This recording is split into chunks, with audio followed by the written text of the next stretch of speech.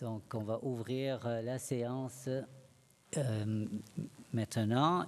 J'aimerais vous présenter euh, les conseillères et, l'équipe de l'administration. Donc, à ma droite, nous avons Caroline Brown, conseillère du district Jeanne Sauvé.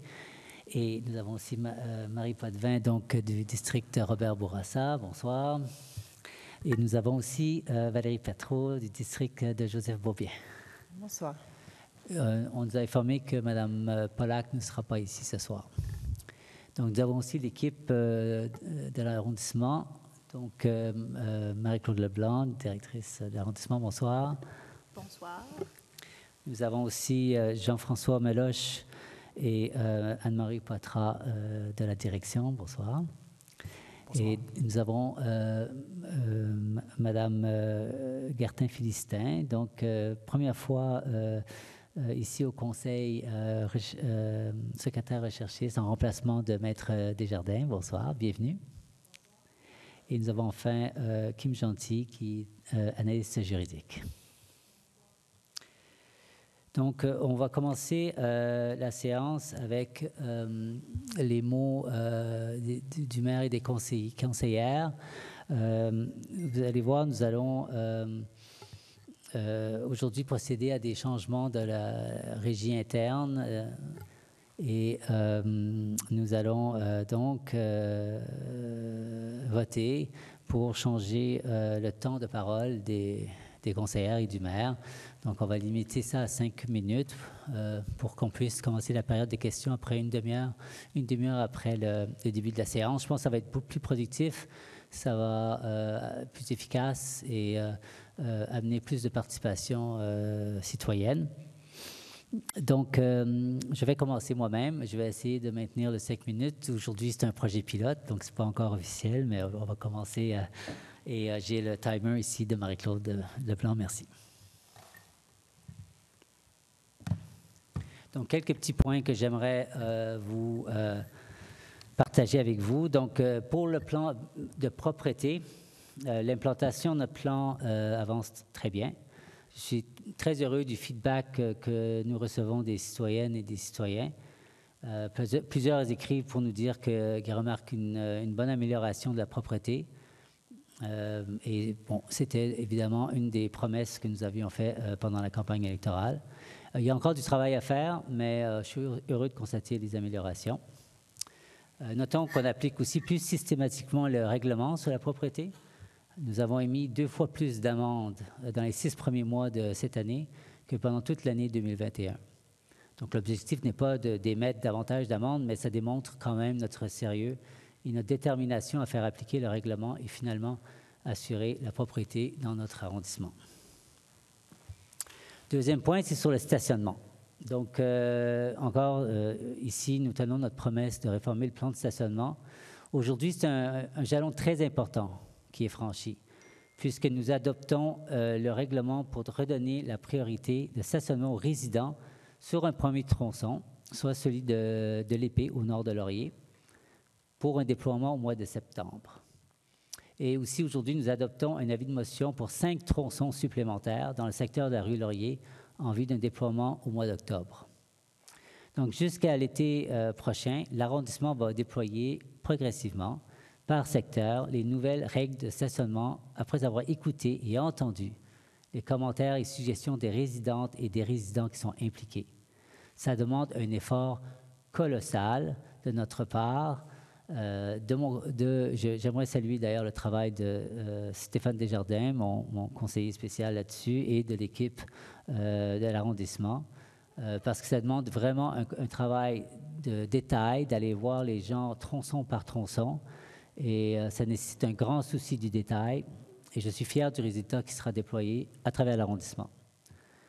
Le succès remporté dans le premier secteur ouvre la voie pour les prochaines étapes Inspiré en droite ligne de la consultation publique tenue au début de 2020, nous allons poursuivre le déploiement des zones prioritaires des anciens secteurs qu'on appelle S3R. Nous avançons avec une vitesse grand V. Nous allons aussi nous attaquer aux autres irritants tels que l'application euh, du règlement de deux heures, le prix des permis pour les travailleurs de l'arrondissement, le stationnement le soir et le week-end, etc. Troisième euh, petit point que j'aimerais souligner, c'est donc euh, les changements de régie interne. J'en ai parlé, donc j'insisterai pas plus là-dessus, mais euh, on limite le temps de parole au début à cinq minutes par maire ou, conseillère. nous allons aussi demander s'il y a une motion à ajouter à l'ordre du jour, qu'elle soit déposée une semaine avant le, le conseil et tout le texte complet. Et enfin, euh, les questions des citoyens. Euh, on, peut commencer d'ailleurs aujourd'hui, mais on va changer le règlement pour que les citoyens posent une question et une question complémentaire, donc qui permet quand même un bref échange avec la conseillère ou le maire. donc, on va commencer ça, on va passer le, on va commencer le processus de changer le règlement aujourd'hui.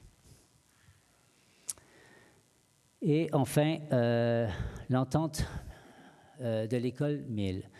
Ici, on a un enjeu. Euh, donc, il y a une nouvelle école qui va s'installer avec plus de 600 élèves dans le campus 1000, près, de, près du CCI, près de, entre Dollar et Wiseman, dans le parc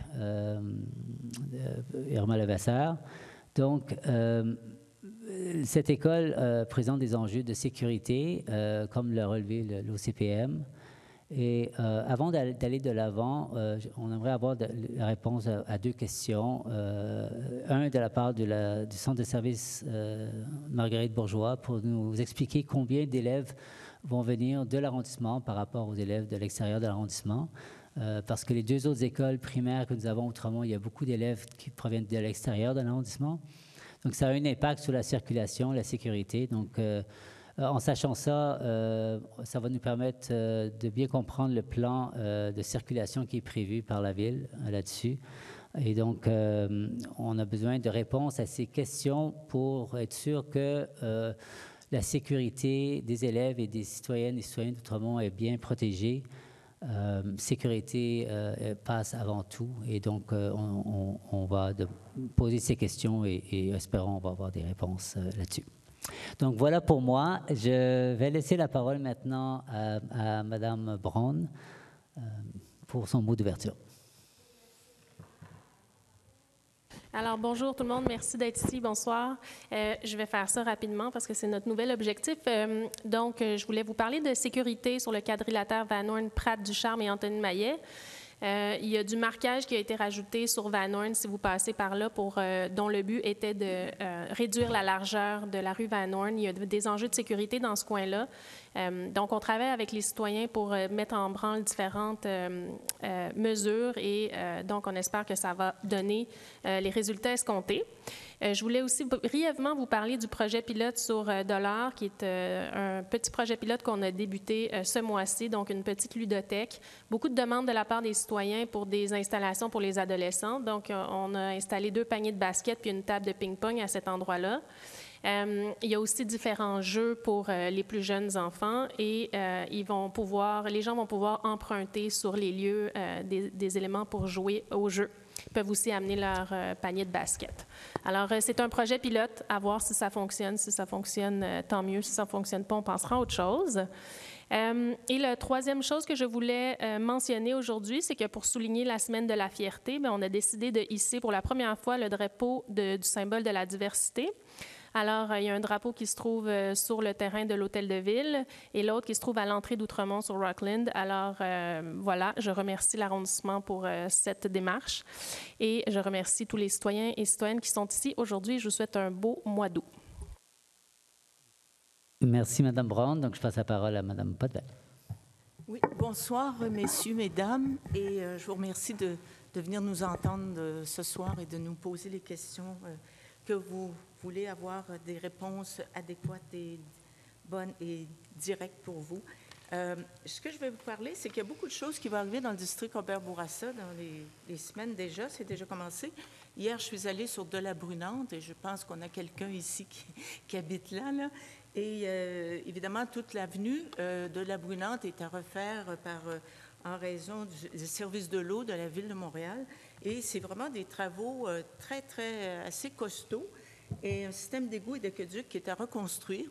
Et comme c'est à refaire, évidemment, on va en même temps refaire le pavage de l'avenue de la Brunante et les trottoirs et certaines choses qui vont être améliorées. On a d'ailleurs, on a quand même consulté des gens qui habitent euh, sur de la Brunante qui nous ont donné leur opinion. On a fait des corrections. La Ville de Montréal a fait des corrections à ce sujet-là. Alors, ça va aller jusqu'à la fin octobre, je crois bien, ces travaux-là. Hier, j'y suis allée. Je vais aller me promener souvent, d'ailleurs. Alors, pour certains, ça ne les surprendra pas, mais euh, je vais regarder ça de près. Et là, on a sur l'avenue Robert, qui était, depuis l'an dernier, c'était fermé. Et là, il y aura un aménagement urbain qui va être très agréable euh, pour fermer complètement l'avenue Robert qui donnait sur Côte-Sainte-Catherine. Il y avait un problème de sécurité aussi et on passait beaucoup par ce coin-là et ça augmentait le nombre de, voitures qui circulaient très tôt le matin et souvent un peu plus tard aussi. Alors, il y aura quand même des saillies végétalisées, ceintures, euh, ceinturées des trottoirs, il y aura des arbres, un arbre de planté, il y aura des blocs de pierre calcaire pour empêcher les enfants par hasard d'aller, le ballon s'en va et puis il s'en va sur Côte-Sainte-Catherine et un enfant peut courir par le ballon. Alors, pour sécuriser au complet les blocs de, de pierre calcaire des conifères, et ça, va être, ça commence possiblement à la mi-septembre pour deux semaines, fin des travaux. Alors, c'est une question de sécurité et empêcher euh, que ça devienne trop euh, des endroits pour passer et augmenter le nombre de, voitures à des heures difficiles. Euh, également, il y aura évidemment cet automne, il y a beaucoup de, de gros euh, choses qui arrivent. Il y aura le Grand Prix euh, des cyclistes le 11 septembre et c'est beaucoup dans le secteur du district Robert Bourassa. Boulevard Mont-Royal, évidemment, je ne vous nommerai pas tout ça, mais ça va être quand même assez, assez important. Et d'ici ce temps-là, il y a toute une préparation qui va se faire sur le pavage, euh, sur les endroits où les cités vont être là et qu'il y a un pavage qui est brisé, mais malgré ça, ça devrait être réparé. Il ne faut pas attendre qu'il y ait uniquement des vélos pour euh, arranger, réparer les, rues. Mais il y aura quand même le 11 septembre, cette journée-là va être fermée parce que ça fait depuis 2019 la dernière fois qu'il y a eu un, tour de le Grand Prix de cyclistes. Euh, c'est international un peu euh, à ce sujet-là. Alors ça, c'est un, gros événement. Et, il y a des, du côté aussi de Côte-Sainte-Catherine, moi, je, vais faire les efforts le maximum pour que la vitesse, c'est 40 km, mais on voit du, 50 km, du 60 km, et ça, ça commence à être lourd un peu pour les jeunes familles, les, gens d'un certain âge qui essaient de traverser des rues et tout. On voit des, on, entend parler de certains accidents des fois. Alors, il ne faudrait pas que ça continue. De ce côté-là, la vitesse, j'en fais, mon, j'en fais mon, la, chose que je vais le plus surveiller parce que je ne tolère pas ça et puis pour le futur et les années à venir. Alors, c'est ce qu'il y a. Je pourrais vous parler pendant une heure de temps, mais je vais vous laisser. Peut-être que vous en avez assez. Alors, euh, je vous souhaite une bonne soirée. Puis, s'il y a des questions, n'hésitez pas. Et puis, concernant le district Robert-Bourassa, si vous avez des questions, ne vous gênez pas de m'interpeller. Merci beaucoup, Madame Potvin. Donc, euh, je vais passer la parole à Madame Patro. Oui, merci Monsieur Desbois. Alors bonjour à toutes euh, et à tous. Euh, merci aux personnes qui se sont déplacées ce soir et merci aux personnes qui, qui sont en ligne également. Donc j'espère que tout le monde passe un bel été et profite notamment des, des, rues piétonnes. je suis allée me balader ben, sur Bernard et puis Dollar commence à prendre des couleurs et il y a de plus en plus de monde et, et j'en suis ravie. Alors même si euh, euh, on est quand même avancé dans, l'été, les, les, aménagements, hein, ça fait la différence. Les, gens euh, apprécient ce qu'on met à, leur disposition pour profiter des, espaces publics. Et puis c'est aussi important pour les commerces de notre quartier, la rue Bernard, évidemment, euh, euh, ces commerces ont, besoin de, euh, de, visiteurs, de visiteuses et, les rues piétonnes sont des, bonnes façons d'y arriver. La rue Dollar aussi a ce rôle-là pour non seulement offrir des espaces publics à nos jeunes, entre autres, et puis aux commerces qui sont, qui sont proches de cette zone. Alors, c'est des bonnes nouvelles quand les aménagements arrivent. et puis, cette année, il n'y a pas eu de campagne de sociofinancement ou de, de nouveautés pour attirer les, les, résidentes et les visiteurs sur, sur nos, rues piétonnes. Et je me demandais si, c'était des, choses qui, allaient venir parce que le, développement économique de notre arrondissement est quelque chose qui, qui m'inquiète grandement. la rue Van Horn, il y, a, plusieurs enjeux à ce niveau-là. La rue Bernard, certains commerces ont, fermé aussi. Et puis, euh, il y a, tout l'aspect de la vélo économie qui n'est pas bien mis en, œuvre encore dans, notre quartier. Et donc, euh, je pense que ce serait important d'en prendre, d'en prendre compte. Et puis, plutôt que de euh, repousser les, cyclistes, de voir comment on peut travailler à mieux collaborer entre les piétons et les cyclistes sur ce, type euh, d'artère-là. Il y a d'autres euh, artères commerciales qui, font des essais cette année euh, dans d'autres arrondissements. il y en a qui ont commencé l'an passé, il y en a qui ont commencé cette année. Je vous invite vraiment à regarder ce qui se fait parce que la vélo-économie, c'est vraiment quelque chose d'important et le soutien à nos commerces, nos rues commerçantes, c'est quelque chose d'extrêmement important. J'ai un deuxième point aussi euh, à, partager avec vous concernant, euh, Monsieur Desbois, vous l'avez mentionné, les modifications qui sont apportées au, règlement de, régie interne du conseil d'arrondissement. Donc, euh, les raisons sont d'améliorer la, participation citoyenne, mais d'un autre côté, trois des quatre modifications qui sont faites sont plutôt une façon de, euh, de museler un peu les, élus. Hein. Alors, euh, euh, vous faites le, le, chant de la démocratie, la transparence, la collaboration entre les élus, mais les, modifications que vous proposez cherchent plutôt donc à infantiliser, à museler les élus. je tiens à vous rappeler qu'actuellement, ces postes sont détenus par des femmes. J'espère vivement que, mes collègues qui sont ici présentes euh, se font, euh, euh, vont, pas s'auto-baïonner et s'enlever la possibilité d'apporter de nouvelles idées au Conseil. Je pense que c'est, on a été élus pour ça, pour participer à la vie démocratique. Et ce serait gênant pour la démocratie que des élus femmes s'enlèvent des droits et notamment les élus, donc conseillères d'arrondissement, qui ont déjà peu de possibilités pour représenter euh, la, la population de leur district. Alors, mesdames, s'il vous plaît, je vous invite à réfléchir avant de voter ces modifications et à garder toutes les options possibles pour euh, la démocratie. Je vous invite à y réfléchir comme élu et non pas comme membre d'un parti. Je vous invite à réfléchir aussi pour toutes les femmes qui se sont battues avant nous euh, et pour toutes celles qui vont venir après nous pour toutes les femmes qui se battent pour avoir des droits et accès au pouvoir. le poste de conseillère d'arrondissement, c'est souvent un premier pas dans la démocratie active et participative, pour les femmes notamment. Je vous invite donc à en tenir compte et à voter pour conserver le plus de démocratie possible et non pas à en enlever. Alors, euh, sur ce, je vous souhaite à toutes et tous un très beau mois d'août et une très bonne soirée. Merci, Madame Patro. Donc, euh, juste quand même pour euh, préciser que les, modifications sont sur le temps, euh, par exemple des mois d'introduction. Je pense qu'on a vu des, séances où c'est assez long, donc on ne peut pas perdre les gens qui viennent se déplacer, qui attendent pour poser des questions. C'est dans ce sens-là que c'est important qu'on laisse la place aussi aux citoyens et citoyennes pour poser leurs questions et qui, ont pris la peine de se déplacer. En ce qui concerne euh, Bayonné, il n'y a, a, aucunement question de Bayonné, euh, simplement d'améliorer le processus.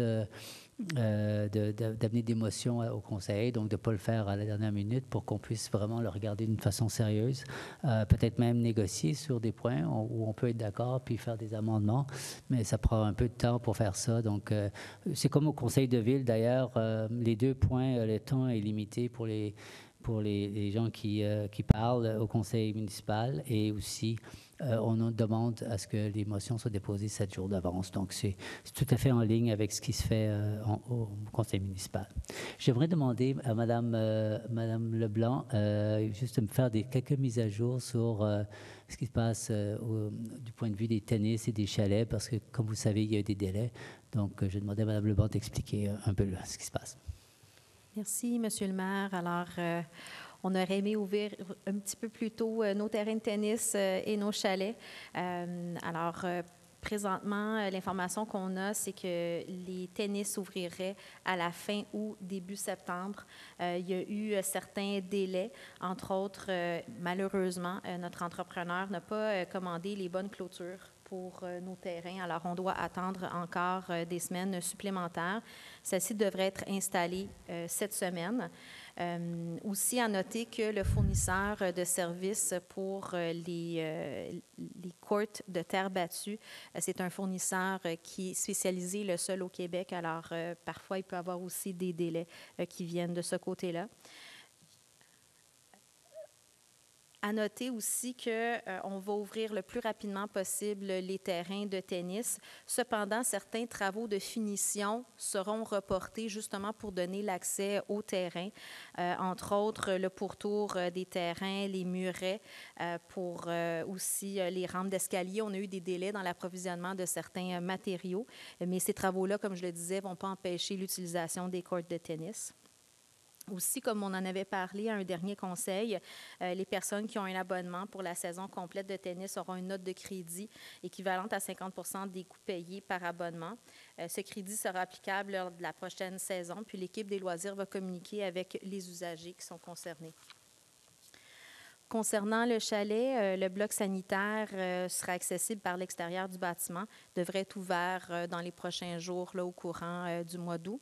Et puis, euh, le, chalet, euh, sous toute réserve, euh, devrait ouvrir pleinement à la fin du mois d'août, début septembre. D'accord, merci Madame Leblanc pour les précisions et la mise à jour. Donc, on va passer au prochain point, qui est la période, des oui, la période des questions des citoyennes, citoyens qui sont en euh, ici dans, aux salles de conseil en présentiel. C'est plus l'adoption de l'ordre du jour. Ah, pardon, l'adoption, désolé, désolé, j'avais mal compris. Donc, euh, on va. Euh, c'est le point. 10.03. 10.03, c'est ça. Donc, on adopte le point du jour. Donc, je vais demander mm. qui veut proposer. Je ne l'ai pas encore lu. Oui, vous pouvez le Excusez-moi, je suis distrait aujourd'hui. Allez-y. La, proposition est à le fait d'adopter l'ordre du jour de la séance ordinaire du Conseil d'arrondissement d'Outremont du 8 août 2022 à 19 h, tel que proposé. J'appuie. Je propose. Merci. S'il n'y a pas de commentaires ou de questions, je vais demander le vote. Donc, euh, Madame Patro. Je suis pour. Et je suis pour aussi.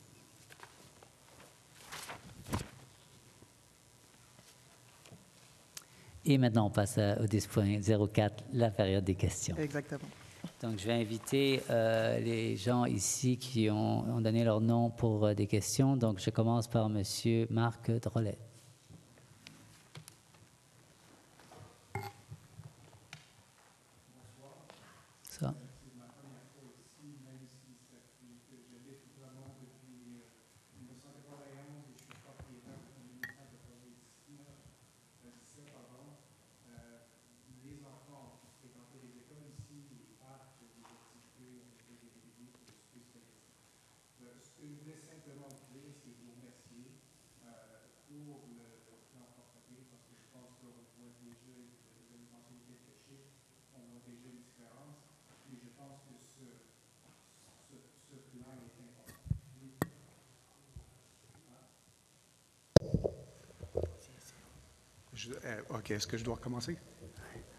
Si vous voulez en résumé, ouais, euh, dire un peu. Oui, Donc, je euh, oui, je suis citoyen d'Outremont depuis 91, propriétaire depuis 97. Mes enfants ont profité du système scolaire à Outremont, de, les trois.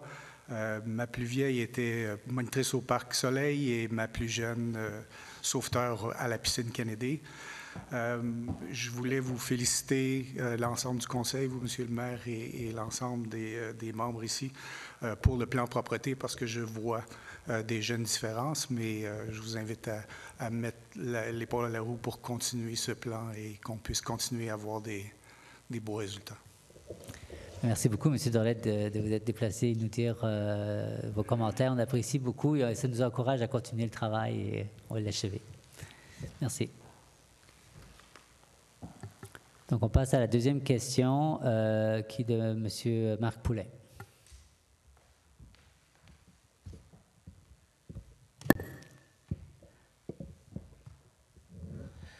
Euh, bonsoir. Bonsoir. Euh, oui, Madame Patro. Revenons encore une fois sur le jugement du tribunal des droits de la personne qui a reconnu que M. Lucier avait été victime de discrimination politique et qui a condamné la Ville à payer 7 000 pour le dédommager. Ici, je ne vais pas m'attarder sur le jugement en tant que tel, que vous ne semblez pas bien comprendre, mais à votre éthique en tant qu'élu. Le juge a reconnu qu'en votant une motion pour exclure M. Lucier de son poste du CCU, le Conseil d'alors avait agi de façon discriminatoire.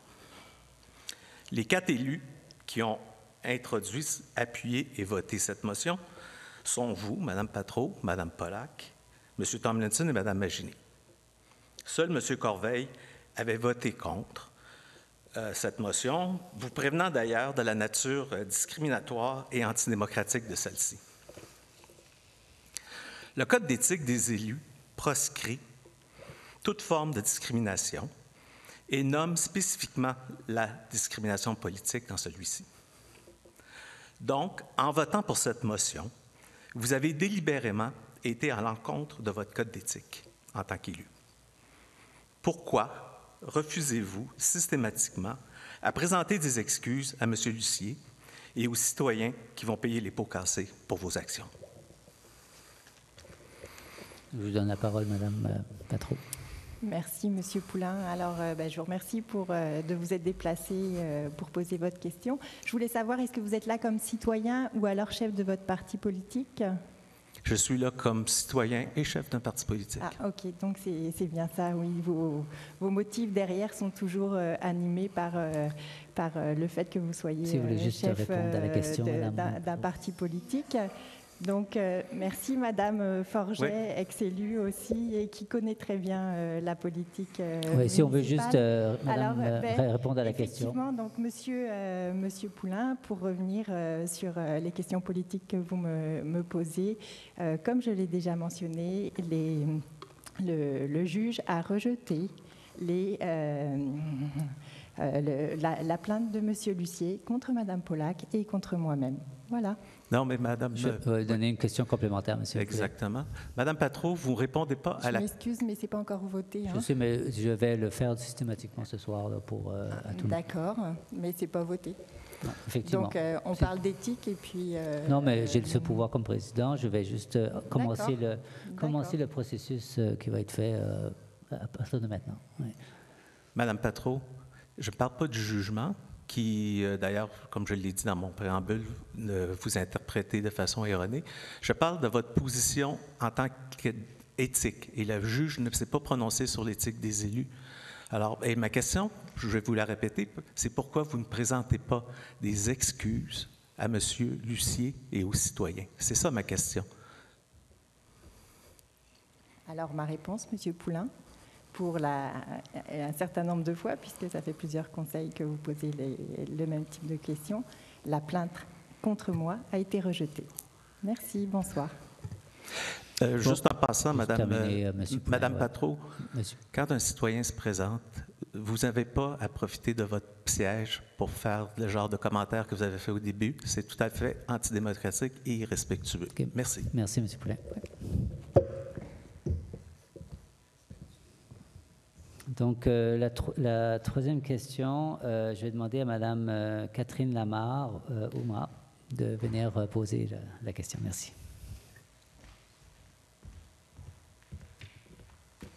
Bonjour tout le monde. En fait, je l'ai envoyée par courriel. Vous voulez que je la relise ou Oui, si vous voulez bien, pour le bénéfice de, tout le monde. Je ne l'ai pas. Deux petites secondes. Sinon, on peut la lire parce qu'on l'a aussi. C'est comme vous voulez. Oui, c'est. Euh, Voulez-vous une copie de votre question? Oui, peut-être. Oui. Absence de Hier, je pense.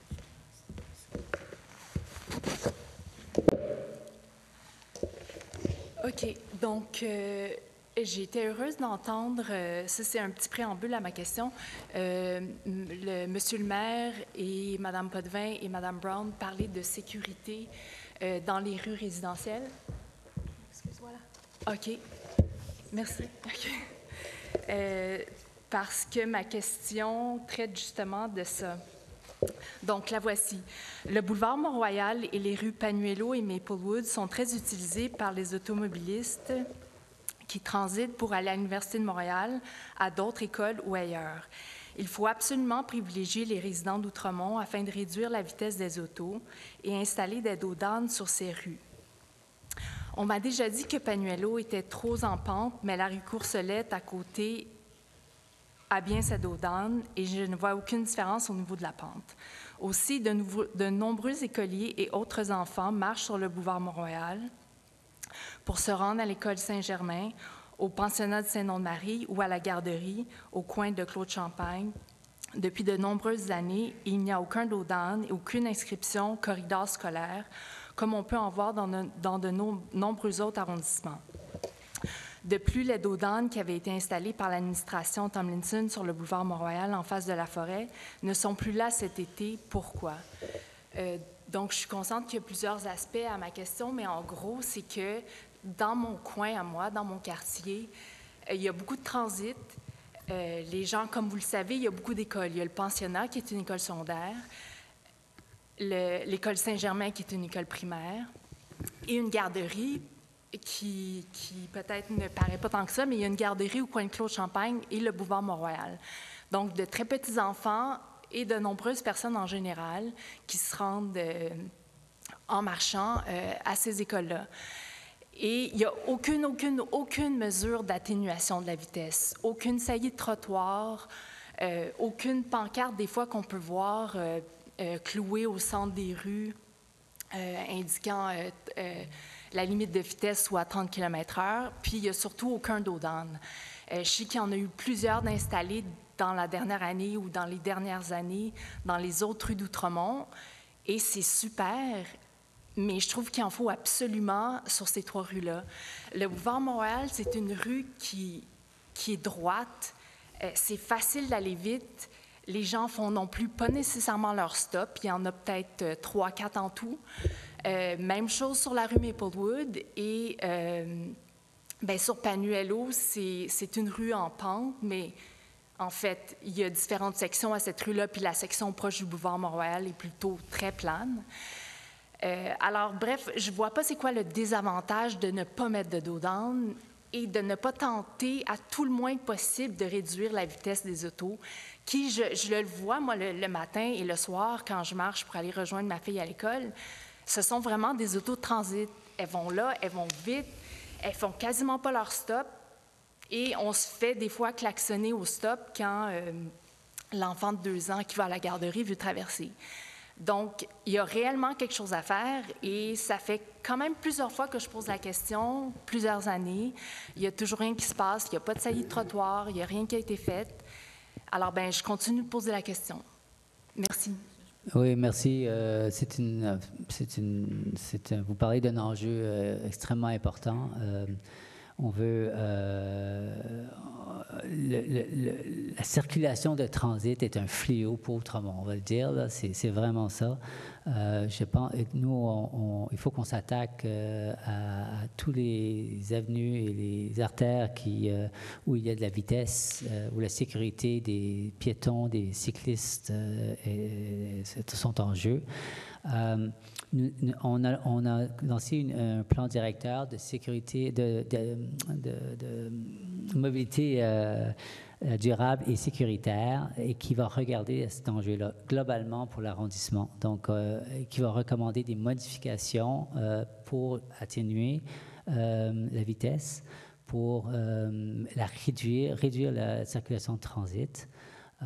C'est un objectif qu'on s'est donné ici pendant notre mandat que, de, de, diminuer cette circulation de transit-là. Pour le secteur dont vous parlez, je le connais très bien. Ma fille est allée à Saint-Germain, euh, au pensionnat, donc c'est un secteur que je connais extrêmement bien. Euh, oui, euh, l'autoroute Mont-Royal, c'en est vraiment un, donc il faut absolument réduire la vitesse là-dessus. Et sur Panuelo, là, il faut voir les études, là, voir pour les taux d'âne, mais moi, je pense qu'on devrait peut-être réexaminer ça encore à nouveau dans les rues. Je ne sais pas si Mme Leblanc, vous aurez des choses à dire là-dessus mais je pense que ça vaut la peine de, le regarder encore une fois. Euh, et euh, d'ajouter aussi des panneaux pour les corridors scolaires, absolument. Ça, serait très important. Je pense qu'il n'y a pas d'enjeu. On, devrait pouvoir le faire, de ce côté-là. Puis je vais demander à Mme euh, Podbin, puisque c'est la conseillère de votre secteur aussi, je pense que sûrement elle a, des choses à dire là-dessus. Je suis contente de vous entendre là-dessus parce que moi, ça me fatigue autant que vous. Et je trouve que, comme hier, j'ai fait le tour un peu de mon district et puis je voyais que en raison des travaux. Euh, sur le boulevard Montréal, les dos n'ont pas été tout à fait ajustés, je crois, à certains endroits, il n'y en avait pas en tout cas. Alors, les dos ça en prend pour, pour réduire la vitesse et ça va très vite sur le boulevard Montréal.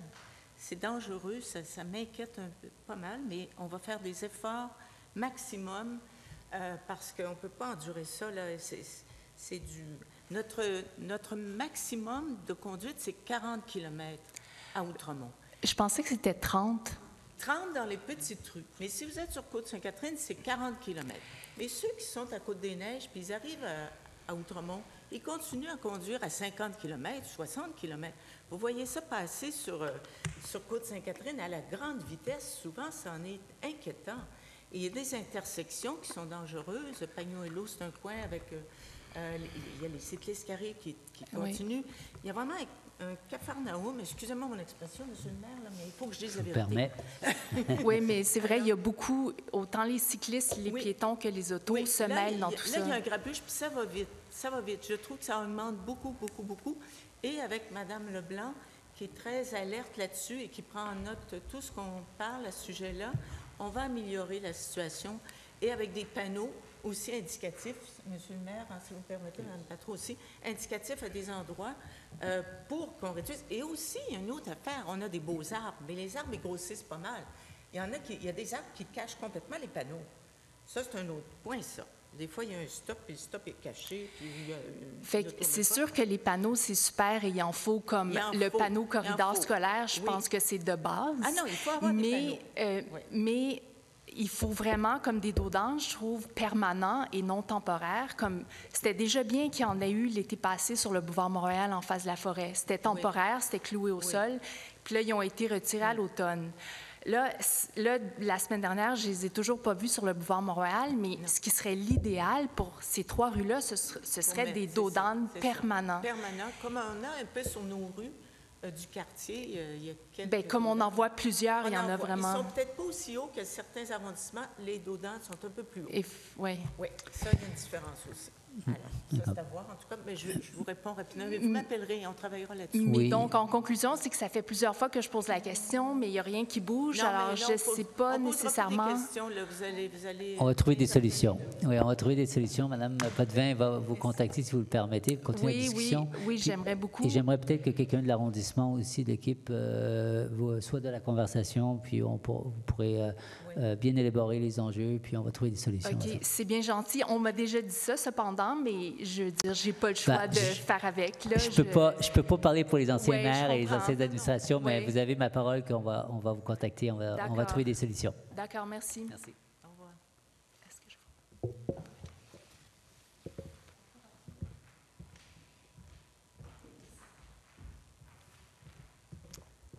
Merci. Donc, on va passer à la prochaine question, qui est celle de M. Pierre Lacerte.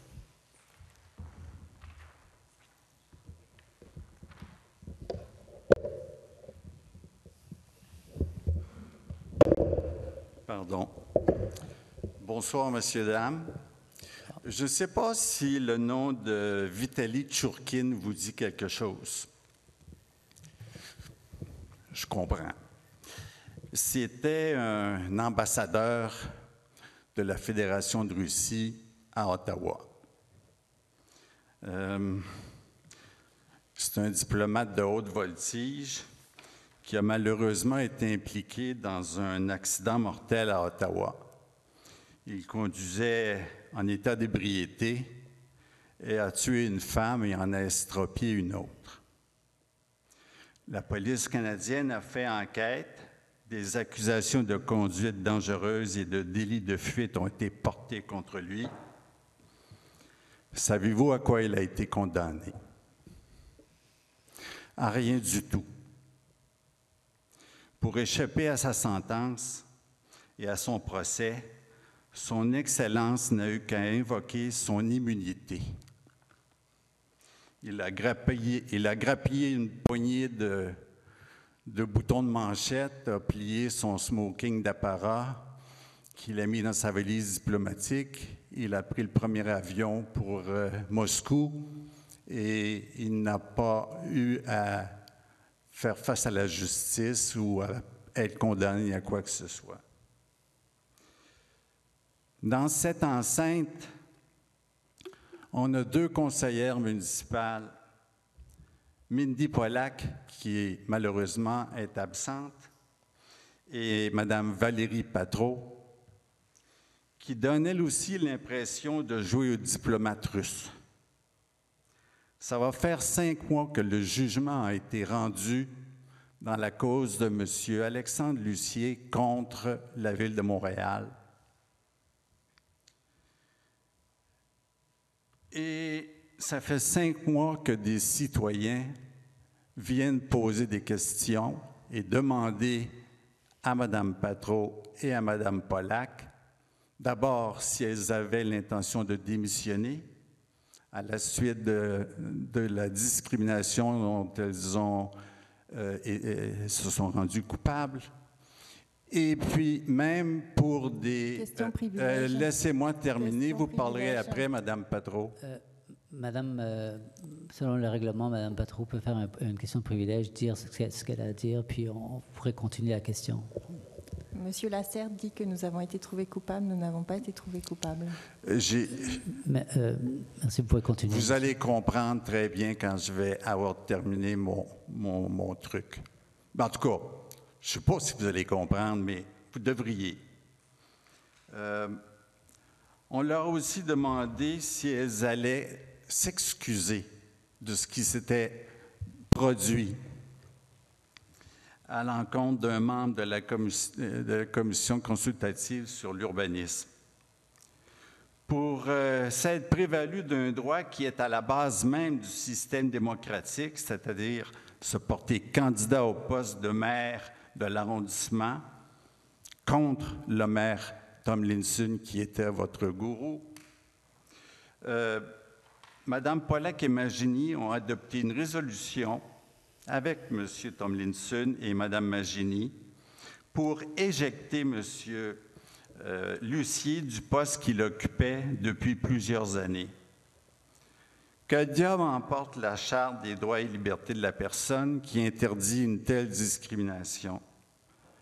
Mindy Pollack est restée muette comme une carpe ici devant les citoyens qui lui ont posé des questions.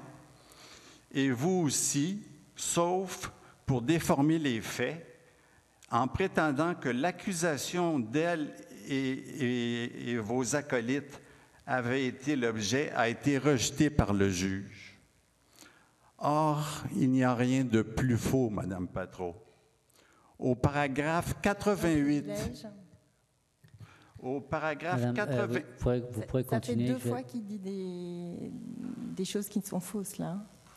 C'est votre, euh, donc votre opinion. Donc, euh, bah, j'ai demandé à. C'est pas mon opinion, c'est des faits, là. Ça complète. les faits, j'y viens. Ça complète votre intervention. Donc, donc question privilège. Voilà, donc vous avez dit ce que vous avez à dire. Oui. oui. Ça fait deux fois que M. Lasserre dit. Oui. Vous pouvez continuer, M. Lasserre.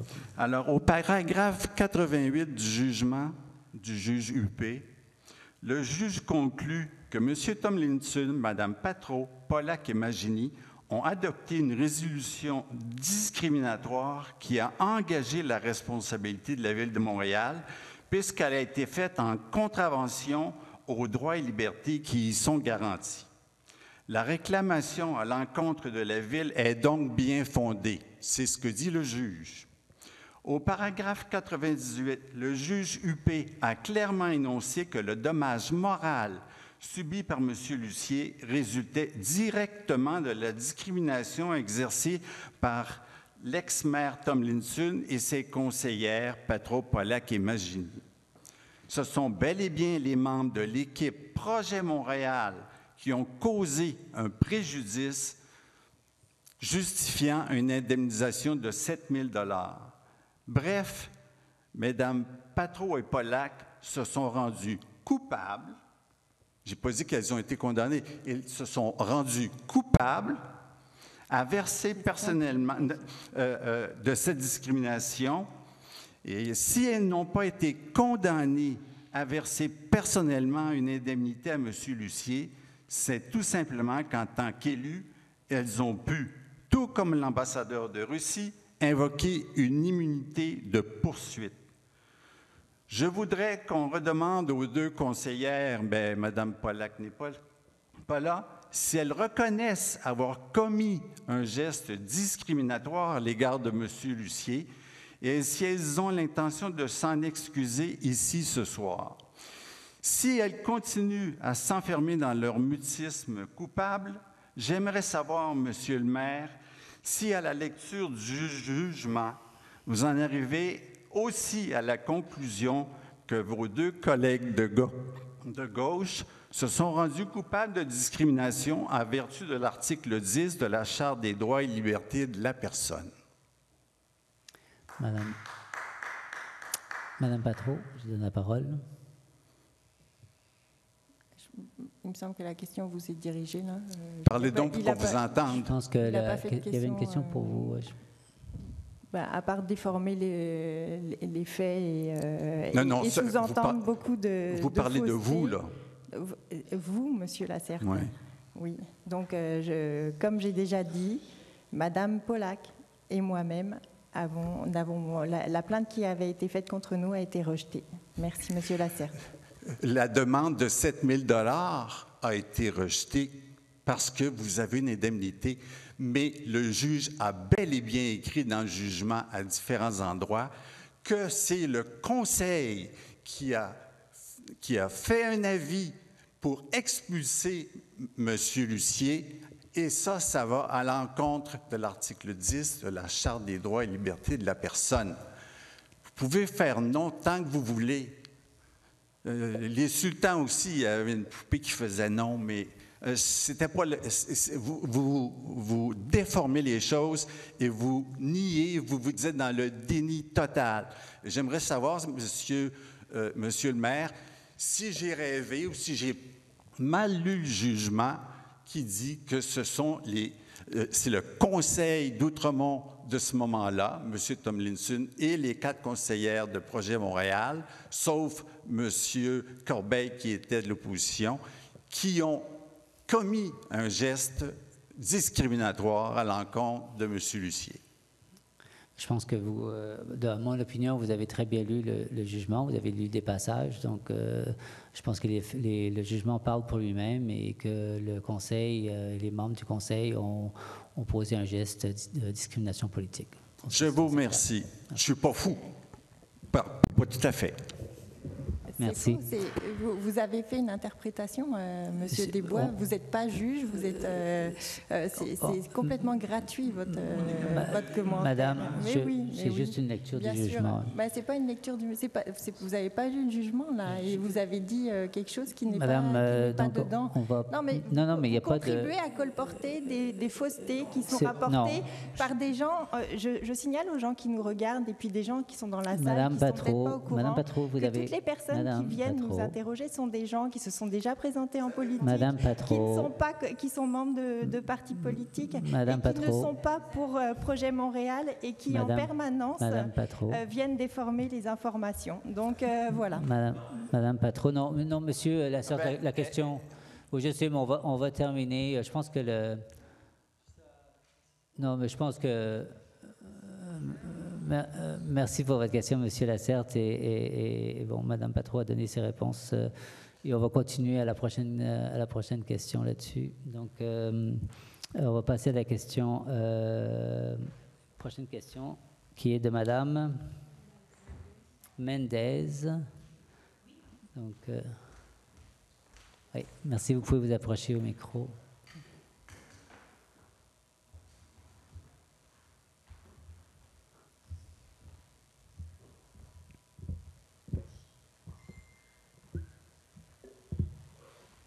Alors, bonsoir. Bonsoir, Madame euh, Je crois avoir choisi la mauvaise journée pour être ici. Euh, parce que moi, pardonnez-moi, Euh, J'habite l'arrondissement voisin du plateau Mont-Royal, donc je suis habituée à ce genre de séance. Euh, puis, mais euh, aujourd'hui, c'est un peu différent de ce que je, suis habituée. Bon, Euh, ma question s'adresse à la personne responsable de la gestion animalière. Je ne sais pas c'est qui. OK. Alors, euh, bonsoir. J'ai le plaisir de parler avec Monsieur Jean-François Meloche. Alors, Monsieur Meloche, euh, donc, comme j'ai dit, j'habite l'arrondissement voisin du plateau Mont-Royal et euh, je fais euh, le, bénévolat pour le CSRM. Donc, je m'explique capture, stérilisation, retour et maintien des chats errants. Et comme vous le savez, c'est un fléau qui existe à Montréal et autrement n'est pas à l'abri. Et euh, j'aimerais savoir. Ah, puis ah, d'abord, je félicite l'arrondissement de faire partie maintenant de ce programme de la SPCA. Puis euh, j'aimerais savoir si euh, l'arrondissement a l'intention de nous aider plus physiquement. OK, il y a comment dirais-je, la collaboration avec la SPCA, mais je vous parle d'un cas concret euh, d'une colonie qui existe, celle-là je la connais personnellement, sur un parking, un parc sta- stationnement qui existe entre euh, les rues Kerb et Dixon, si je m'abuse. Et euh, bien sûr, les chats sont nourris là, dans le parking. Et cette semaine, il y a eu la coupe des arbustes et tous les bols des animaux ont disparu. Et la dame qui est venue pour le nourrir, il n'y avait rien. Donc, elle est allée acheter des nouvelles, euh, nouveaux bols pour nourrir les animaux. Euh, donc, j'aimerais euh, demander au- à l'arrondissement si, quand on va faire ces travaux-là de, de- parking, si on peut laisser les bols où les animaux mangent et euh, si euh, la part des citoyens qui, qui nous achalent, ce n'était pas moi personnellement, mais la semaine dernière, la dame nourrissait les animaux, puis il y a quelqu'un qui est venu la photographier, et puis euh, photographier la nourriture en disant qu'elle venait porter plainte euh, à l'arrondissement. Donc, ce que nous demandons, c'est la collaboration de- de l'arrondissement pour que nous puissions continuer à faire ce travail tellement nécessaire pour diminuer les chats errants à Montréal. Euh, donc, est-ce que nous pouvons euh, demander que le- l'endroit soit respecté? Est-ce que nous aurions le droit de mettre, ça c'est ma deuxième question, une petite pancarte de rien de, en demandant de respecter la colonie qui est là? Oui, d'accord. Ben, merci. On- Je pense qu'on on- on comprend bien votre question et merci de la poser. Puis je vais donner la parole à M. Meloche pour. euh, Merci, euh, Madame, de, de vous être déplacée. Donc, ce que, ce que je vous propose, on pourra, euh, j'ai vos coordonnées, on pourra entrer en contact avec vous puis regarder Ah, comment on peut gérer cette situation-là euh, particulière. Effectivement, on- comme vous le savez, on, est en- on a un contrat avec la SPCA pour la gestion euh, des, euh, des chats errants afin de les Et- stériliser. Et si je m'abuse, c'est assez récent. Euh, c'est, ça fait quelques années, mais est-ce, que, est-ce qu'il y a eu des modifications euh, dans, dans l'offre qu'on a? Euh, c'est possible. Je, je- malheureusement, je, je suis le, le gestionnaire de ce contrat-là depuis euh, cette année seulement, mais je sais qu'on on est actif là, avec la SPCA. La Oui. sécurité publique et la SPCA là, peuvent, peuvent intervenir. Donc, euh, on, on va entrer en contact avec vous, là, la, la personne responsable, pour euh, voir ce qui peut être fait pour, euh, pour euh, le cas précis que vous nous amenez sur Kerb. Euh, oui, très très bien, merci beaucoup. Merci beaucoup. Puis, euh, euh, donc, euh, merci de votre attention, parce que d'ailleurs, je ne suis même pas résidente de- d'Autremont. Alors, en souhaitant Merci. à tout le monde une agréable fin de, de session. merci. puis Une bonne soirée à vous, madame. À la prochaine, qui Ah oui. sait D'accord, merci. Donc, on va passer à la dernière question du public. Donc, madame, j'invite madame Forget à, poser, à venir poser sa question.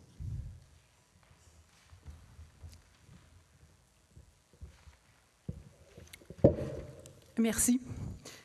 Euh, donc, je renouvelle ma déception de voir euh, Mindy Pollack et Valérie Patro assises au Conseil, malgré l'important jugement du tribunal des droits de la personne contre elles, reconnaissant qu'elles ont usé de discrimination dans leurs fonctions.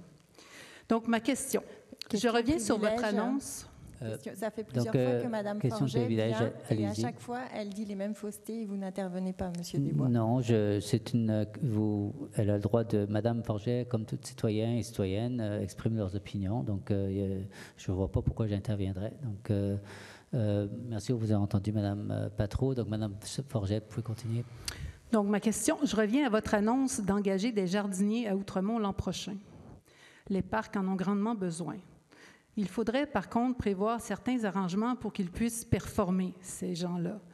Y a-t-il, par exemple, des sorties d'eau à différents endroits dans les parcs pour y connecter un boyau d'arrosage, par exemple?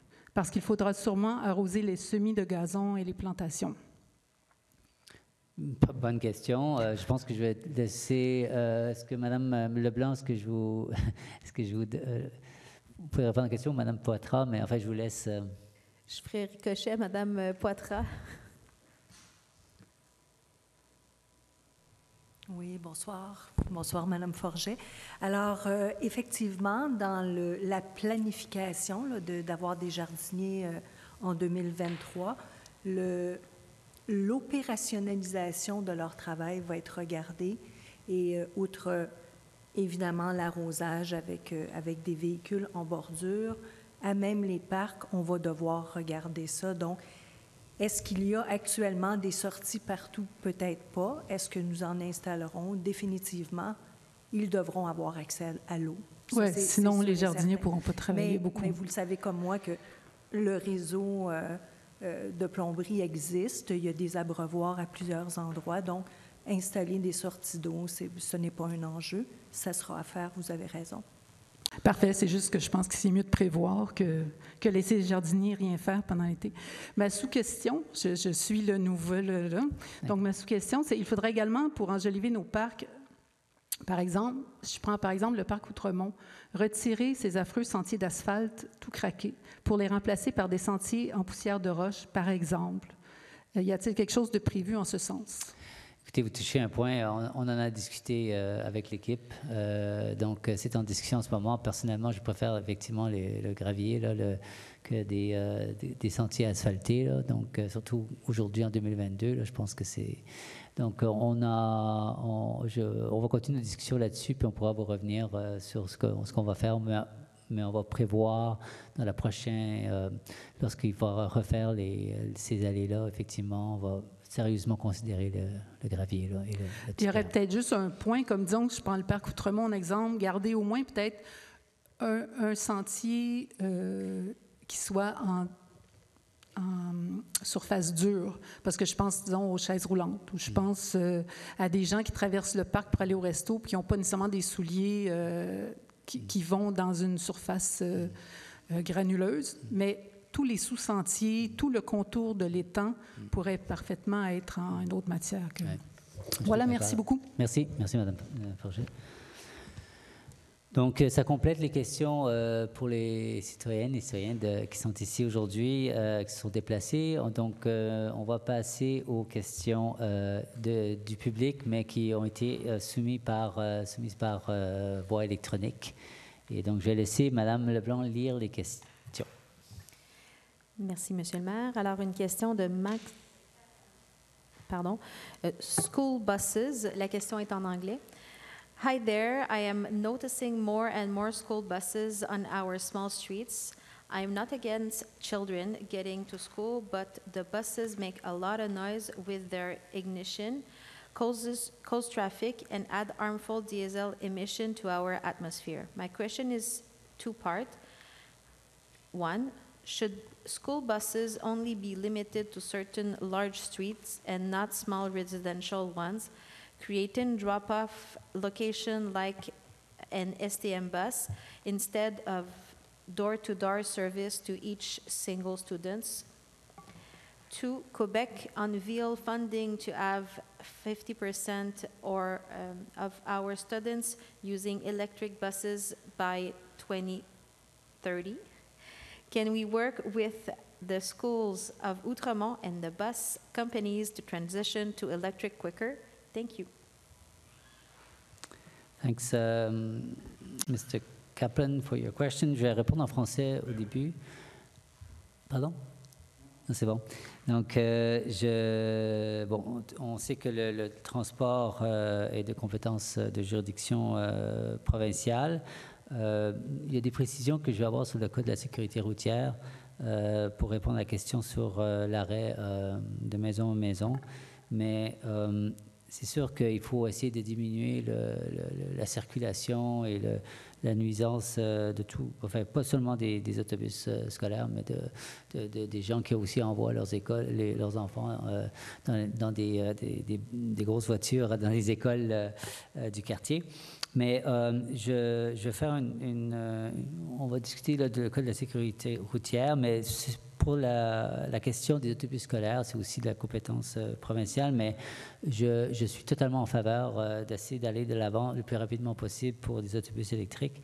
J'ai eu des discussions, j'ai commencé des discussions entre directeurs d'école, en fait, et aussi avec euh, des gens qui peuvent aider euh, dans la transition euh, vers des autobus scolaires électriques. Et donc, mon rôle est de favoriser et d'inciter le, changement avec le pouvoir que j'ai, mais avec le pouvoir d'influence que je peux avoir et de, convaincre les gens d'aller de l'avant. Donc, c'est ce que je vais faire. je vais m'en occuper. Donc, um, just a word in English. Um, uh, there are two questions there, but um, one is about uh, uh, stopping uh, school buses at every um, house. Um, I have a question on the uh, Code de sécurité routière, so the, the law that governs uh, uh, traffic uh, and uh, how school buses should uh, behave, I guess.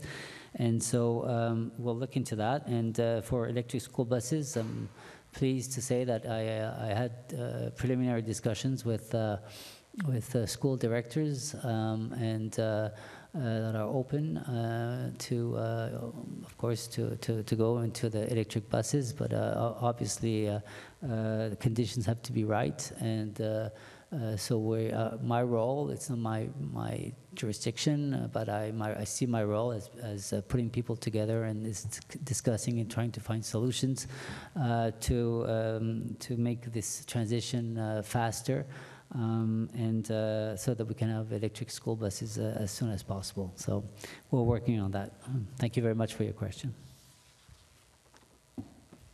Prochaine question de Audrey Robinson, Parc Outremont. Je pensais que le terrain de jeu du Parc Outremont devait être refait cette année. Est-ce que je me trompe? Quand est-ce que les travaux de la salle de bain seront terminés? Quand est-ce que les chemins seront refaits?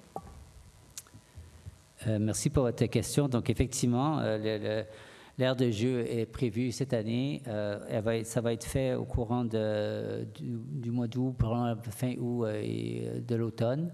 Donc, il est question de refaire complètement l'aire de jeu. Donc, ça va être, ça va être fait. Et en ce qui concerne les travaux de salle de bain, du chalet, bon, ça continue. Madame Leblanc en a parlé. Je pense qu'on va essayer d'ouvrir les salles de bain avant la fin de- des travaux. C'était initialement ce qu'on avait prévu, mais si c'est possible, euh, c'est ce qu'on va faire. D'accord. Euh, voilà. Merci beaucoup pour votre question. Prochaine question, Sylvain Bédard, chemin de la Côte Sainte-Catherine. Comment transformer le chemin de la Côte Sainte-Catherine, qui est une route résidentielle de autoroute de haute vitesse, camions lourds, non-respect des lumières, bruit, etc., en une vraie rue résidentielle digne du nom de Outremont, comme l'ont fait Ville-Mont-Royal avec le chemin Rockland et autres?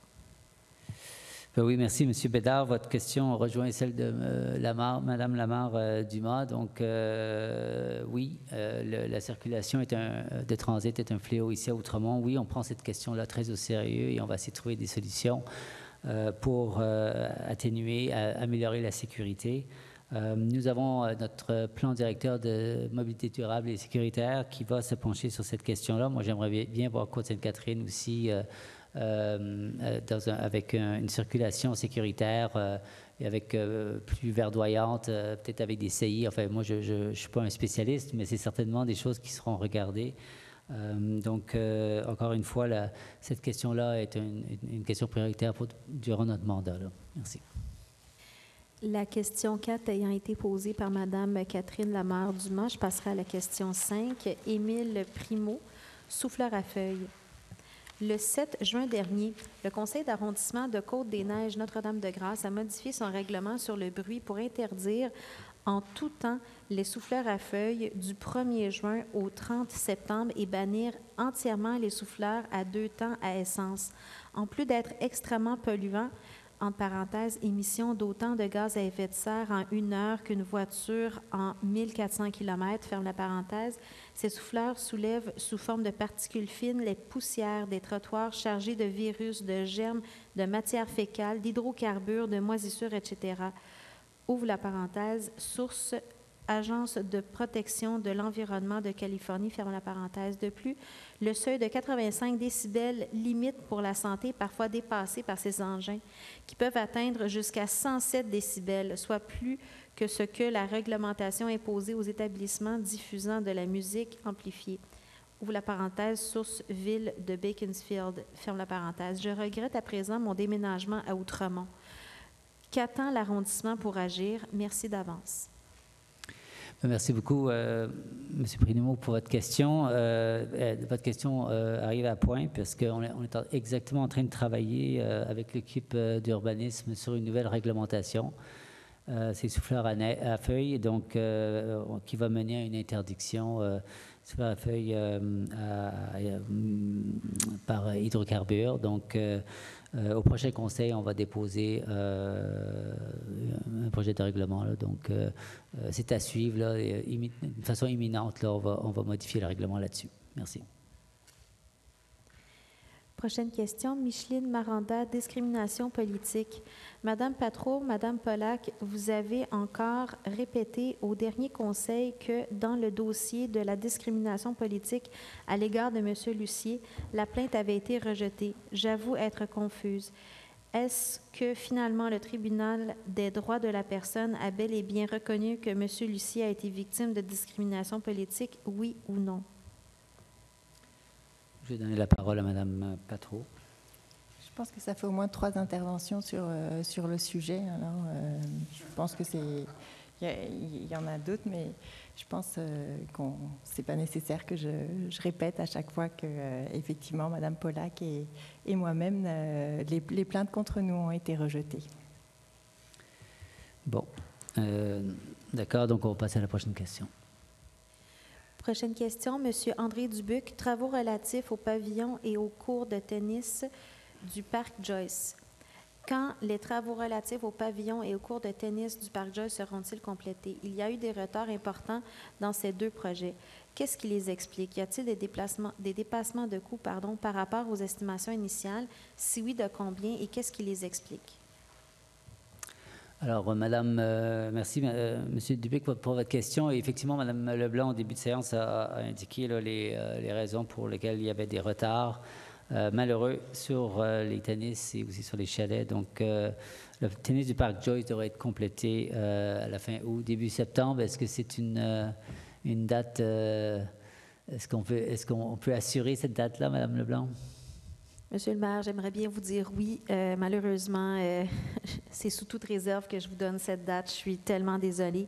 Euh, moi-même, je suis abonnée au tennis Joyce et j'ai bien hâte de recommencer à y jouer. Oui, on a tous hâte. Ben, merci. merci pour la question. Donc, on va passer à la prochaine question, s'il vous plaît. Prochaine question, Lucille Baladier. Sujet plan de stationnement. Bonjour. J'ai soutenu votre équipe à 100% quand vous quand vous vous étiez, entre autres, engagé à revoir rapidement le plan de stationnement incohérent quand nous avons que nous, que nous avait imposé M. Tomlinson. Aujourd'hui, je reçois avec stupéfaction l'avis de renouvellement des vignettes sans communication préalable. Il semble que il semble donc que rien n'a été fait à date sur ce dossier, d'où ma question. Qu'en est-il du projet de révision du plan de stationnement? Ou vous vous étiez engagé à mettre en action rapidement après que vous étiez engagé à mettre en action rapidement après votre élection. Merci. Merci, Madame euh, Baladier, pour votre question. Donc, euh, effectivement, euh, la révision du plan de stationnement, est, on a dit en campagne que c'était prioritaire pour nous. Et dès le début du mandat, dans les premières semaines, j'ai demandé à, à M. Desjardins, mon conseiller spécial, de s'attaquer à ce projet-là. C'est un projet colossal parce que ça demande de euh, parler, on ne peut pas faire une consultation globale euh, sur Outremont parce que chaque tronçon euh, a ses besoins, a ses particularités. Que soit un tronçon près de la rue Laurier, ce n'est pas les mêmes enjeux qu'un tronçon sur McEachran ou près du, du restaurant Damas, par exemple. donc chacun a ses particularités. Il faut parler aux gens parce qu'on croit beaucoup à l'expérience d'usage des usagers qui peuvent nous apprendre beaucoup euh, donc, on ne veut pas imposer un plan euh, qui vient euh, ex machina, comme on dit, et donc on veut vraiment que ça vienne de la base. Donc, c'est ce qu'on fait. Un, donc, ça demande un, souci du détail et un travail colossal d'aller parler aux gens. Et je, remercie M. Desjardins qui s'occupe de ce dossier-là. Donc, nous, comme j'ai mentionné aujourd'hui, nous, avons lancé le premier tronçon dernière séance. Nous allons, enfin, on va continuer aujourd'hui et nous allons euh, commencer le processus pour cinq nouveaux tronçons et on va déployer euh, le retour de la priorité pour les résidents euh, dans des secteurs où il y avait les S3R, donc des secteurs un peu plus difficiles, plus intenses, plus achalandés. Donc, on, va dérouler en fait ce, ce plan-là pendant l'année qui vient. Et on est très, très confiant que ça va bien aller et que les résidents vont être extrêmement contents là-dessus. Donc, je vous remercie pour votre question, Madame Baladier. Prochaine question, Yannick Bugeaud, Bac à sable. Bonjour. Les deux dernières années de la piétonisation de la rue Bernard, il y avait un bac à sable où on se rejoignait les dimanches matins entre parents en regardant nos enfants jouer en prenant un café du Second Cup ou en mangeant une glace de chez Bill Bucket. Cette année, le bac n'est pas revenu. Est-ce une décision de votre nouvelle administration? Quelle en est la raison? S'il vous plaît, ne dites pas que c'est une question de budget. L'aménagement de la rue Bernard cette année est assez banal. Il n'y a rien d'aménagé pour les enfants et les familles. Les seuls qui profitent de la rue principale sont ceux qui viennent pour manger au restaurant. Vous avez mis quelques aménagements pour enfants sur la rue de l'Art, mais cette rue n'est pas animée et c'est trop loin des commerces pour que ce soit intéressant. Est-ce possible au moins de remettre le bac à sable à son endroit avant la fin de la saison? Merci. Donc, euh, merci, euh, M. Bijou, pour votre question. Donc, on, effectivement, euh, cette année, c'est une année de transition parce qu'on arrive en début de mandat. Donc, on, révise le concept de la piétonisation de l'avenue Bernard. Et donc, ça demande un réaménagement et du mobilier qui va arriver au courant de l'été et l'année prochaine. du mobilier, d'ailleurs, qui comprend l'animation pour les enfants euh, aussi. Donc, euh, il y aura d'autres euh, types d'activités, d'animation que, enfin, qui, aura lieu sur l'avenue Bernard. quant au bac à sable, effectivement, c'est notre décision, on l'assume complètement parce que le bac à sable, c'est absolument pas, comment dire, écologique. Euh, c'est pas une matière qui est renouvelable, donc ça demande qu'on l'achète et qu'on le, jette et que le sable et, la, et, euh, ce qui, en fait, après l'eau, c'est ce qui est consommé le plus, curieusement, c'est le sable. Et euh, il faut faire attention à l'utilisation du sable qu'on fait. Et donc, nous, on est, on est très conscient de ça et on veut offrir d'autres types d'aménagements pour les enfants qui, euh, on espère, vont être aussi satisfaisants, satisfaisants, sinon plus. Merci. Prochaine question. Ginette Côté, discrimination politique. Madame Pollack, ça fait plusieurs fois que je vous entends dire au Conseil que la plainte contre vous a été retirée dans la cause auprès du Tribunal des droits de la personne pour discrimination politique. Pourtant, le tribunal a reconnu que M. Lucier avait été victime de discrimination politique et condamné la Ville à payer 7 000 en guise de dédommagement. Si la plainte a été retirée, comment se fait-il que la Ville va devoir débourser 7 000 Pouvez-vous nous expliquer? Quel rôle avez-vous joué en tant que conseillère dans cette condamnation? Bon, je, Mme Pollack n'est pas là aujourd'hui, donc elle ne peut pas euh, répondre. Je ne sais pas si Mme Patro a un commentaire, mais. Non, d'accord. Donc euh, la question a été posée, mais on, va, on, la fera suivre à Mme Pollack.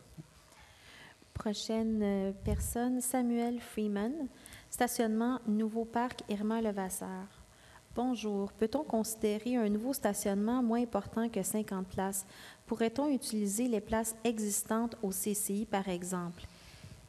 Signé Samuel Freeman. Ben, merci, M. Freeman. Donc, euh, les cases, effectivement, de stationnement euh, ont, est en grande discussion en ce moment. Euh, notez qu'il y avait, il y a en fait en ce moment 96 cases pour le CCI, donc 80 cases dans le stationnement, plus 16 cases qui sont juste autour du CCI. là, il va y avoir 50 places, donc 50 cases, donc le nombre de cases va être diminué de moitié. Donc, euh, déjà, c'est un, effort euh, considérable. Euh, notez aussi qu'il y avait une étude en 2017 qui avait conclu que pour bien servir le CCI, il fallait 150 cases, donc trois fois plus de cases qu'il va y avoir. Donc, on, s'attend à ce qu'il y ait un manque de cases, euh, euh, enfin de, possibilités de stationnement. Donc, effectivement, on peut encourager les gens à utiliser d'autres euh, méthodes de mobilité douce et active et, métro, etc.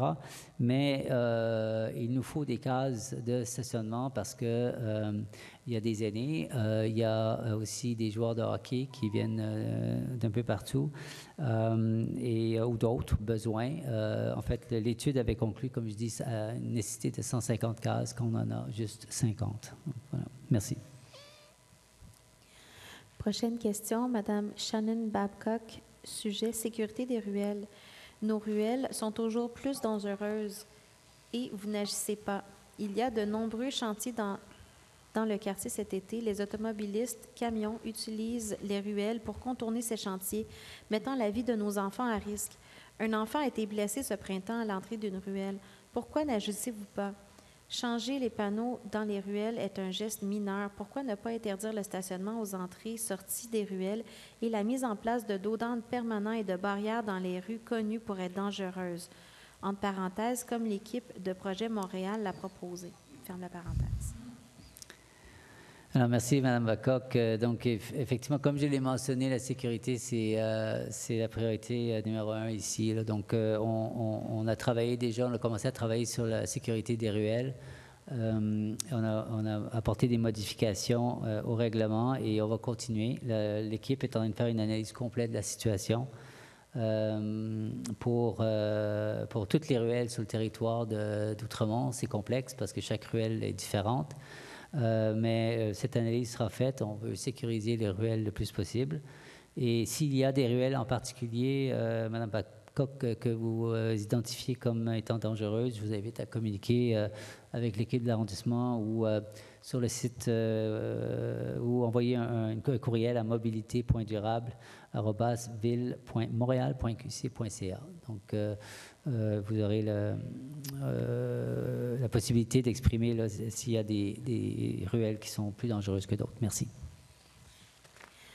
Prochaine question, David Desbaillet, sujet Cleanliness ads on Facebook. My question is addressed to Mayor Desbois. I have noticed repeated ads on the subject of propreté when I use Facebook. They are sponsored by the borough. I would like to know how much such commercial costs the citizens of Outremont and why you consider this expensive social media strategy necessary when there are so many other ways of getting your message to people that would be less costly.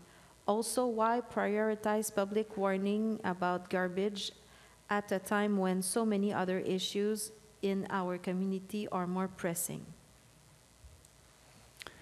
Uh, so thank you for your question. Uh, I think uh, uh cleanliness is is an issue that touches you know public health, well-being. Um, beauty is also something that we must not forget. That's very important for our well-being as well. And but the, the main reason being public health, we see. Um, dirt and uh, you know bags um, uh, um, you know, glad bags, I guess, for, with uh, trash um, that are ripped open by uh, animals. And uh, I don't think it's something that we want uh, here in Outremont. Um, and uh, we've made a pledge to uh, make Outremont clean again, and that's what we're going to do. And it includes communication, communicating to the public what we're doing, what we want to do, what we expect. And um, uh, so it's necessary to invest uh, in communications, including uh, Facebook. And I can guarantee you that Facebook is not the most expensive way to communicate to the to uh, people. And we have made very targeted uh, ads uh, to, you know, for example, H H2V, um, you know, postal code. So it's not a major cost for us. Um, Je vais juste dire en français que la propriété est, prioritaire. Ça a été une promesse de campagne. Euh, nous, allons, euh, nous allons le régler, le problème. C'était notre détermination. Et donc, ça inclut euh, communiquer avec la population. il y a des nouveaux règlements qui ont été mis en place, il y a des nouvelles amendes. Euh, on, s'attend à, ce qu'on fasse, qu'on mette par exemple des, sacs euh, dans des, bacs fermés. Donc il faut, communiquer ces choses-là à la population pour que ce soit bien compris.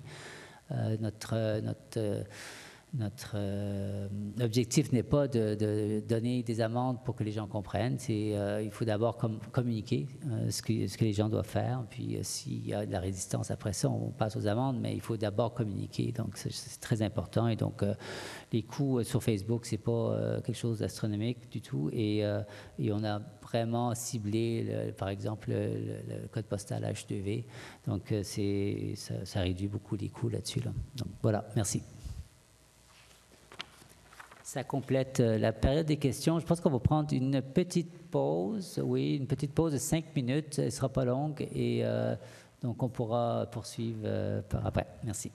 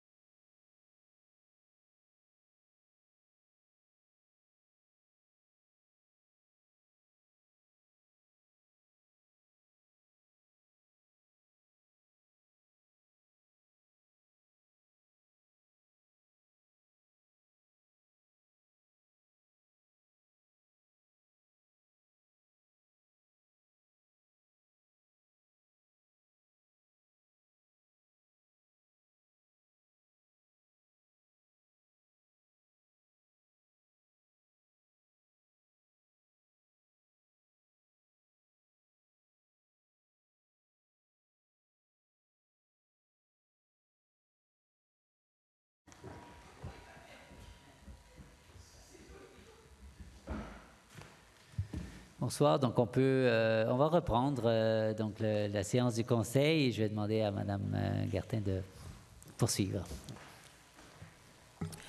On va, aller on va commencer avec le point 10.05, l'approbation du procès verbal. La proposition est à l'effet d'approuver le procès verbal de la séance ordinaire du Conseil d'arrondissement d'Outremont tenue le 4 juillet 2022 à 19h. Je propose. Puis? Je vais demander le vote, Mme Patron.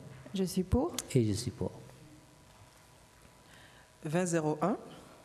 La proposition est à l'effet d'accorder au fournisseur Can Aqua International 2 un contrat de montant de 218, 218 263 et 25, incluant les taxes pour l'achat et la fourniture de fontaines à boire extérieures et intérieures pour une installation future sur le territoire de l'arrondissement Outremont, conformément au document de l'appel d'offres public 22 19 336 d'autoriser une dépense d'un montant de 218 263 et 25, incluant les taxes au fournisseur Canaqua International pour l'achat et la fourniture de fontaines à boire extérieures et intérieures pour une installation future sur le territoire de l'arrondissement d'Outremont, d'autoriser une dépense de 21 826 et 33, incluant les taxes à titre de budget de contingence, d'autoriser une dépense totale de 240 089 et 58, incluant les taxes et le budget de contingence, d'imputer cette dépense conformément aux informations financières inscrites au dossier décisionnel. Cette dépense sera entièrement financée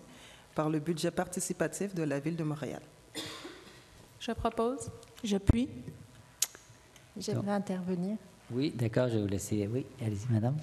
Oui, mais je, veux juste euh, signifier que c'est un projet qui a été choisi par les citoyens et citoyennes dans le cadre du, budget participatif de la ville de Montréal, euh, qui, a, un budget qui était euh, qui visait la transition écologique. Et je pense que pour Outremont, je suis très contente qu'il y ait ce, projet-là qui a été choisi parce que ça, complète bien le plan de propreté, parce que ça va tout à fait en, prévention. Le fait d'avoir euh, accès à de l'eau sur l'espace public, ça permet de diminuer notamment ben, l'achat de bouteilles d'eau. Et on sait que euh, c'est entre autres un des, objets qu'on retrouve souvent dans nos poubelles ou sur nos, rues. Et donc le fait d'avoir accès à l'eau sur l'espace public, c'est important. Merci. Donc, effectivement, donc on est très content de ce, budget participatif qui nous permet de, d'avoir nos, fontaines. Et euh, comme Mme Patro le dit, donc c'est, tout à fait en ligne avec, euh, avec notre, nos efforts de transition écologique. Donc, euh, je vais demander le vote, Mme Patro. Alors, je suis pour. Et je suis pour aussi. 2002. La proposition est à l'effet d'accorder une contribution financière supplémentaire d'une somme maximale de 7 156 dollars, toutes taxes applicables incluses, pour prolonger le projet création d'un espace LGBTQ+, de la Maison des Jeunes d'Outremont du 1er juillet au 31 décembre 2022 dans le cadre du programme d'intervention de milieu pour les jeunes de 12 à 30 ans. D'approuver un projet de convention addenda entre la Ville de Montréal, l'arrondissement d'Outremont et la Maison des Jeunes d'Outremont établissant les modalités et conditions de versement de ce soutien financier additionnel. D'autoriser Mme Marie-Claude Leblanc, directrice d'arrondissement, à signer la convention addenda pour et au nom de l'arrondissement, d'imputer cette dépense conformément aux informations financières inscrites au dossier décisionnel. Cette dépense sera entièrement assumée par la Ville centrale. Je propose. J'appuie. Donc, je vais demander euh, le vote, Mme Patro. Oui, je suis pour. Et je suis pour aussi. 3001. La proposition est à l'effet d'affecter un montant total maximal de 12 000 avant les taxes pour des opérations de modification de la signalisation dans le cadre de la révision des règles de stationnement dans l'arrondissement d'Outremont, qui se réaliseront sur huit tronçons jusqu'au mois de décembre 2022, d'autoriser les fonctionnaires autorisés à approuver toute dépense et à octroyer tout contrat lié à ce projet, et ce, conformément au règlement sur la délégation de pouvoir à certains fonctionnaires de l'arrondissement, le règlement AO 460, d'imputer la dépense conformément aux informations financières inscrites au dossier décisionnel. Cette dépense sera entièrement assumée par les fonds de stationnement de l'arrondissement. Je propose. J'appuie. Donc, si je sais pas s'il y a des commentaires, sinon on va demander le vote. Madame Patro. Oui, je suis pour. Et je suis pour. 3002. La proposition est à l'effet d'affecter un montant total maximal de 12 000 incluant les taxes à même le surplus libre de l'arrondissement pour l'achat de matériel dans le cadre de la piétonisation du boulevard Dollard, d'autoriser les fonctionnaires autorisés à approuver toute dépense et à octroyer tout contrat lié à ce projet, et ce, conformément au règlement sur la délégation du pouvoir, à certains fonctionnaires de l'arrondissement règlement AO 460, d'imputer la dépense conformément aux informations financières inscrites au dossier décisionnel. Cette dépense sera entièrement assumée par l'arrondissement. Je propose. J'appuie. J'aimerais intervenir juste pour confirmer, parce que là, il y a déjà eu des, aménagements qui ont été faits. Ça, c'est contenu dans le budget de 12 000 dollars ou alors c'est supplémentaire? Ça, fait partie du, du, même budget. Parfait, merci. D'accord. Donc, je vais demander le vote. Oui, je suis pour. Et je suis pour. 30.03. La proposition est à l'effet de modifier le calendrier des séances ordinaires du Conseil d'arrondissement pour l'année 2022, de déplacer la séance ordinaire prévue pour le lundi 3 octobre 2022 au mardi 11 octobre 2022 à 19h. Je propose. J'appuie. Donc, effectivement, ici, c'est parce qu'il euh, y a des élections commencées le 3 octobre, donc on va déplacer. Euh, donc, s'il n'y a pas de commentaires, je vais demander le vote. Oui, mais une petite pensée pour Mme Pollack qui avait levé le flag euh, oui, là-dessus. Effectivement. Donc, moi, je suis pour. D'accord, et je suis pour. 30.04.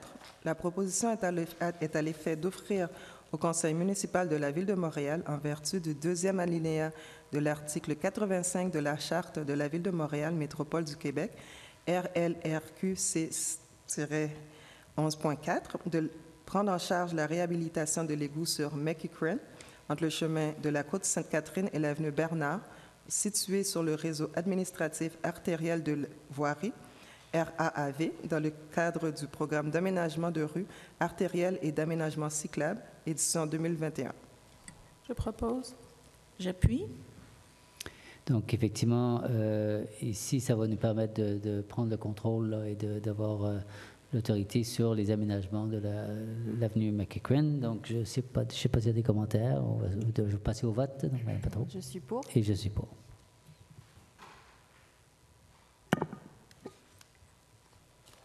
Il n'y a pas de vote pour les prochains points de, du 30. Euh, le 30.05, dépôt des rapports des décisions déléguées pour le mois de juin 2022.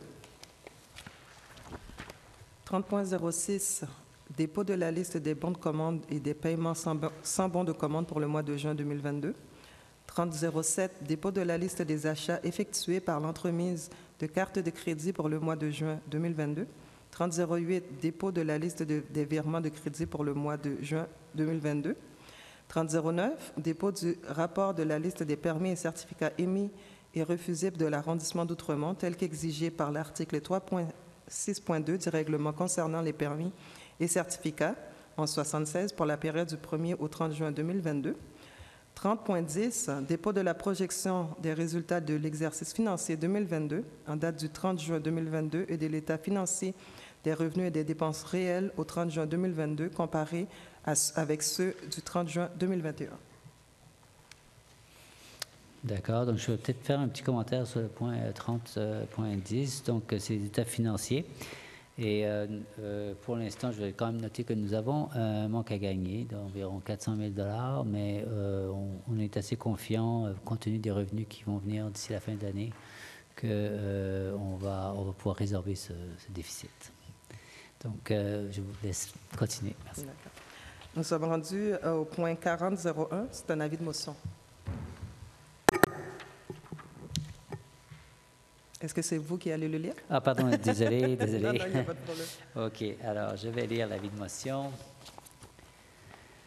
Donc, conformément à l'article 356 de la loi sur les cités et villes, je donne un avis de motion à l'effet qu'un projet de règlement intitulé Règlement modifiant le règlement concernant les parcs et les endroits publics sera adopté au cours d'une prochaine séance du conseil d'arrondissement et je dépose le projet de règlement. L'objet de ce règlement vise à ajouter une disposition à l'article 1 définissant les endroits publics. Donc, euh, juste pour... Euh, est-ce que je peux juste commenter que c'est ou je commente à la prochaine, oui, d'accord. Au prochain point, je commenterai, donc je vous laisse continuer. 40.02, la proposition est à l'effet d'adopter un premier projet de règlement du règlement modifiant le règlement concernant les parcs et les endroits publics 1107. L'objet de ce règlement vise à ajouter une disposition à l'article 1 définissant les endroits publics. 40.03 après. Vous pouvez euh, en parler. Je propose. J'appuie. Donc, euh, effectivement, donc cette, euh, ce projet de règlement euh, est pour permettre euh, à la sécurité publique euh, euh, d'agir. euh, et quand lorsqu'on ajoute les places publiques, là, ils vont pouvoir aussi euh, agir à des endroits euh, qu'ils ne peuvent pas en ce moment. Donc, c'est simplement une question de définition là ici. Donc, je vais demander le vote, euh, Madame Patro. Oui, je, je suis pour. Ouais, et d'accord, merci, je suis pour aussi. Le 4003, c'est un autre avis de motion. Oui, d'accord. Alors, je- conformément à l'article 356 de la loi des- sur les cités et villes, je donne un avis de motion à l'effet qu'un projet de règlement intitulé Règlement modifiant le règlement de régie interne du Conseil d'arrondissement d'Outremont à au euh, 4068 sera adopté au cours d'une prochaine séance du Conseil d'arrondissement et je dépose le projet de règlement. L'objet de ce règlement est de réviser certaines des règles régissant le déroulement des séances du Conseil. 4004. La proposition est à l'effet d'adopter un premier projet du règlement modifiant le règlement de régie interne du Conseil d'arrondissement d'Outremont AO 468. L'objet de ce règlement est de réviser certaines règles, certaines des règles de régissant le déroulement des séances du Conseil. Je propose. J'appuie. Je peux dire des commentaires ou euh, je sais pas si vous Oui, j'aimerais Oui. euh, intervenir. J'ai une question. Est-ce que je peux proposer un amendement sur ce genre de, de dépôt ou euh, comme il doit être voté en deuxième euh, au prochain conseil? Est-ce que je peux pro- proposer un amendement? Oui. Parfait. Donc, euh, je, je souhaite euh, proposer que seule euh, la modification euh, au, format des questions du public fasse partie du, règlement et je souhaite retirer les, autres points qui sont du bâillonnement des, des conseillers, con- conseillères d'arrondissement.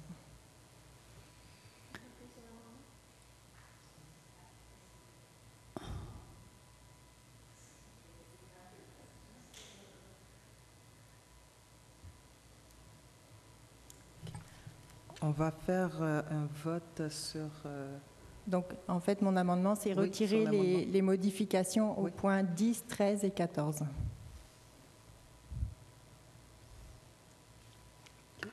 pour euh, la proposition d'amendement. Oui, d'accord. Alors, je, je vais juste commenter. Donc, je, ici, on s'inspire euh, de ce qui se fait au conseil municipal. Euh, je, je, que les- je, je, je- je- je porte en. Comment on dit Euh, Je ne suis pas d'accord que c'est du bâillonnement. Je pense que ça laisse toute la liberté aux, con- aux conseillers, conseillères de s'exprimer en, début de séance et d'apporter des, euh, des motions euh, dans un délai prévu, comme, comme ça se produit au conseil municipal. Donc, donc je demandais un vote. je- on rendu là. Donc, On va commencer par voter sur la proposition initiale. est-ce qu'il faut qu'il soit proposé et La appuyé? proposition sur l'amendement. Mais est-ce qu'il faut que ce soit appuyé et proposé? Appuyé et ou- proposé, oui. Donc, euh, donc euh, vous, vous proposez, c'est ça? Oui, je propose. oui, D'accord. que- S'il n'y a pas d'appuyeur, donc, euh, Pas d'appuyeur. pas d'appuyeur. Et sur euh, la proposition initiale? On le- le revient vote? donc maintenant. euh, donc, je vais demander le vote. On a déjà proposé appuyer. Donc, je demander le vote à Mme Donc, ben, je souhaite intervenir sur la proposition qui est non amendée. Euh, je, je réitère le fait que même si euh, des régies internes de d'autres conseils euh, municipaux ou ailleurs, euh, de- on, s'en inspire, euh, le fait de, de diminuer les, options qui, avaient lieu à Outremont, je pense que euh, Outremont peut avoir ses propres règlements et régies internes. Ça, ça a fonctionné comme ça depuis un certain temps et de diminuer les, possibilités pour les, élus d'intervenir lors du conseil, de pouvoir apporter des nouvelles idées. Je pense que, c'est dommage, c'est un recul. Du dernier euh, conseil, euh, vous avez fait euh, tout un discours, Monsieur Desbois, sur la, collaboration entre élus. Je me suis engagée à, fonctionner sous ce format-là. Donc je comprends que ma parole et puis le, fait que j'ai fonctionné sous ce format-là dans le, dernier mois et qu'on collabore très bien dans les, derniers mois également ne, vous suffit pas et que vous voulez absolument contraindre les, élus avec une modification euh, euh, au règlement de, régie interne. Je trouve ça vraiment dommage de, reculer en termes de démocratie. Si Outremont et, menait, avait un certain leadership euh, à ce niveau-là, je trouve ça gênant de, reculer. Alors, et notamment par le fait que, comme j'ai dit en début de, de séance, les conseillères d'arrondissement ont peu de pouvoir d'action. Elles, ce sont souvent des femmes et ça veut dire qu'on diminue le, peu de pouvoir que les femmes avaient dans ce conseil. Et je trouve ça vraiment dommage. Encore une fois, je, réitère que ce, changement euh, au règlement ne modifie en rien ou n'enlève pas euh, aucun pouvoir aux conseillères de pouvoir euh, euh, introduire des motions euh, comme euh, elles veulent, avec les idées et les, avenues qu'elles veulent poursuivre. Donc, ce n'est pas du tout du baillardement, ça, ça, change le mécanisme, c'est tout. Et aussi, ça a l'avantage, et c'est là où c'est dans l'esprit démocratique, c'est que ça a l'avantage de, de lorsqu'une motion est présentée sept jours d'avant avec le texte, ça nous permet de réfléchir, euh, de collaborer ensemble pour peut-être amener des amendements et de, créer une unanimité. Je pense que c'est impossible de le faire quand on présente une motion euh, le jour même. Donc, pour moi, ça ouvre la possibilité à une collaboration, ça amène plus de démocratie.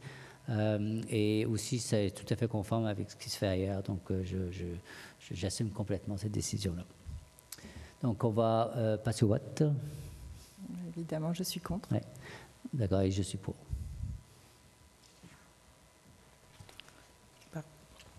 Le 4005, un autre avis de motion. Oui, donc euh, conformément euh, à l'article 356 de la loi des cités et villes, je donne un avis de motion à l'effet qu'un projet de règlement intitulé Règlement modifiant le règlement sur la circulation et le stationnement, le 1171, sera adopté au cours d'une prochaine séance du conseil d'arrondissement et je dépose le projet de règlement. L'objet de ce règlement vise à modifier les règles de stationnement applicables sur l'avenue du Rocher entre les avenues Laurier et Fairmount, l'avenue Édouard-Charles, l'avenue Kerb entre le boulevard Saint-Joseph et l'avenue Fairmount et le boulevard Saint-Joseph. 4006. La proposition est à l'effet d'adopter un premier projet du règlement modifiant le règlement sur la circulation et le stationnement 1171. L'objet de ce règlement vise à modifier les règles de stationnement applicables sur l'avenue du Rocher entre les avenues Laurier et Fairmont, l'avenue Édouard-Charles, l'avenue Kerb entre le boulevard Saint-Joseph et l'avenue Fairmont et le boulevard Saint-Joseph. Je propose. J'appuie. Donc, je ne sais pas s'il y a des commentaires. Euh, sinon, on passe au vote. Euh, Madame Patro. Je suis pour. Et je suis pour. Oui, euh, pardon, madame. Euh, oui, donc euh, oui, effectivement. nous avons une petite présentation à faire. madame Leblanc, merci de me le rappeler. Je vous, je vous donne la parole. Merci, Monsieur le maire. Alors, pour le bénéfice de tous et de toutes, vous avez euh, sur euh, l'écran, désolé pour nos élus, euh, l'écran est tourné parce qu'on va le filmer pour les gens qui sont en web de diffusion, mais la foule le voit très bien.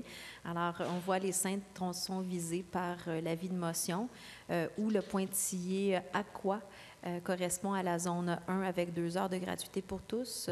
Euh, la ligne continue orange, la nouvelle zone 2 réservée exclusivement aux résidents et résidentes.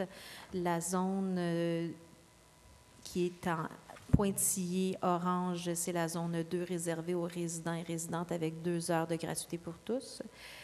Et l'interdiction de stationner en noir. Alors, les vignettes mixtes, euh, les résidents des cinq tronçons visés pourront se procurer un permis de stationnement S3R sous forme d'une vignette mixte permettant à la fois le stationnement dans, la zone, dans les zones réservées de secteur 2 et aussi dans la zone secteur 1 au besoin. Puis vous avez euh, une petite euh, représentation graphique de la vignette. et puis, il n'y aura pas d'augmentation de coût pour ce permis.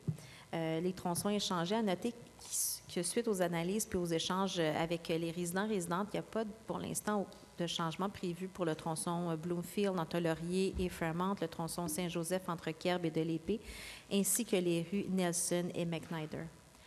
Au niveau de la participation citoyenne, euh, on a besoin de porte-parole. Alors, euh, pour euh, les 10 autres anciens secteurs S3R, ben, on est à votre recherche, porte-parole ou ambassadeur, pour valider la mise en place de changements pour votre tronçon de rue pour ces anciens secteurs S3R. Bien, votre collaboration, dans le fond, on, la recherche.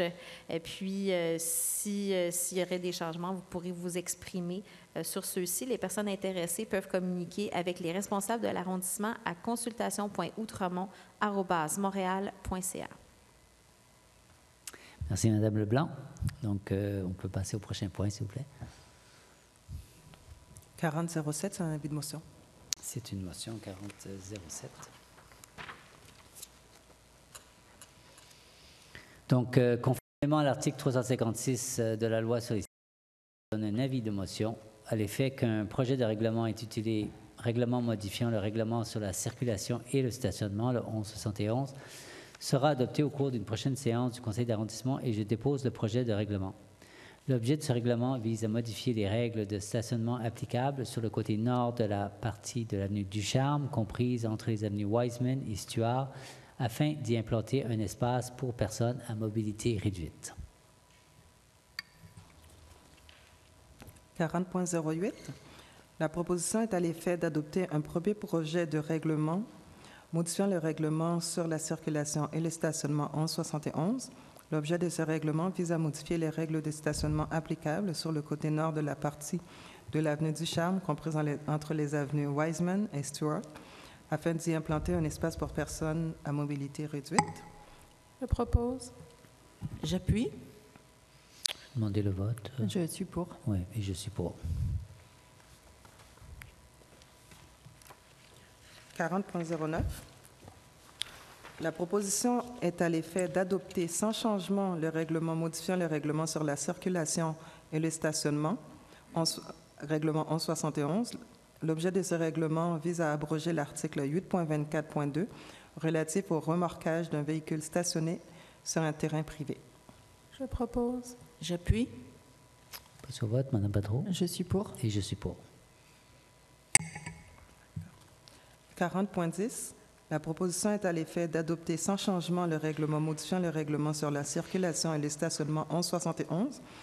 L'objet de ce règlement vise à modifier les règles de stationnement applicables sur le tronçon de l'avenue de l'Épée, compris entre les avenues Laurier et Fairmont. Je propose. J'appuie. Je vais demander le vote, Madame Patron. Je suis pour. Et je suis pour. 40.11. La proposition est à l'effet d'édicter une ordonnance autorisant l'implantation d'un concept d'aménagement de rue active et familiale visant notamment à transformer une rue afin de ne permettre que la circulation locale dans un secteur sur l'avenue Marsolet du, pardon, du 8 août 2022 et ce jusqu'au 30 octobre octobre 2022 inclusivement. Je propose. Et j'appuie. D'accord. Donc, effectivement, c'est une demande euh, qui a été faite par les résidents de l'avenue Marcelet. Donc, euh, euh, on est très content de. Enfin, je ne veux pas présumer, mais je suis très content d'aller dans le sens de ce que vous souhaitez demander. Donc, je vais demander le vote, Madame Potvin. J'appuie. Vous votez vous votez pour Et je vote pour. Et je vote pour aussi. Merci. 40.12. La proposition est à l'effet d'édicter les ordonnances pour les événements suivants, et ce, conformément aux conditions et modalités inscrites au dossier décisionnel.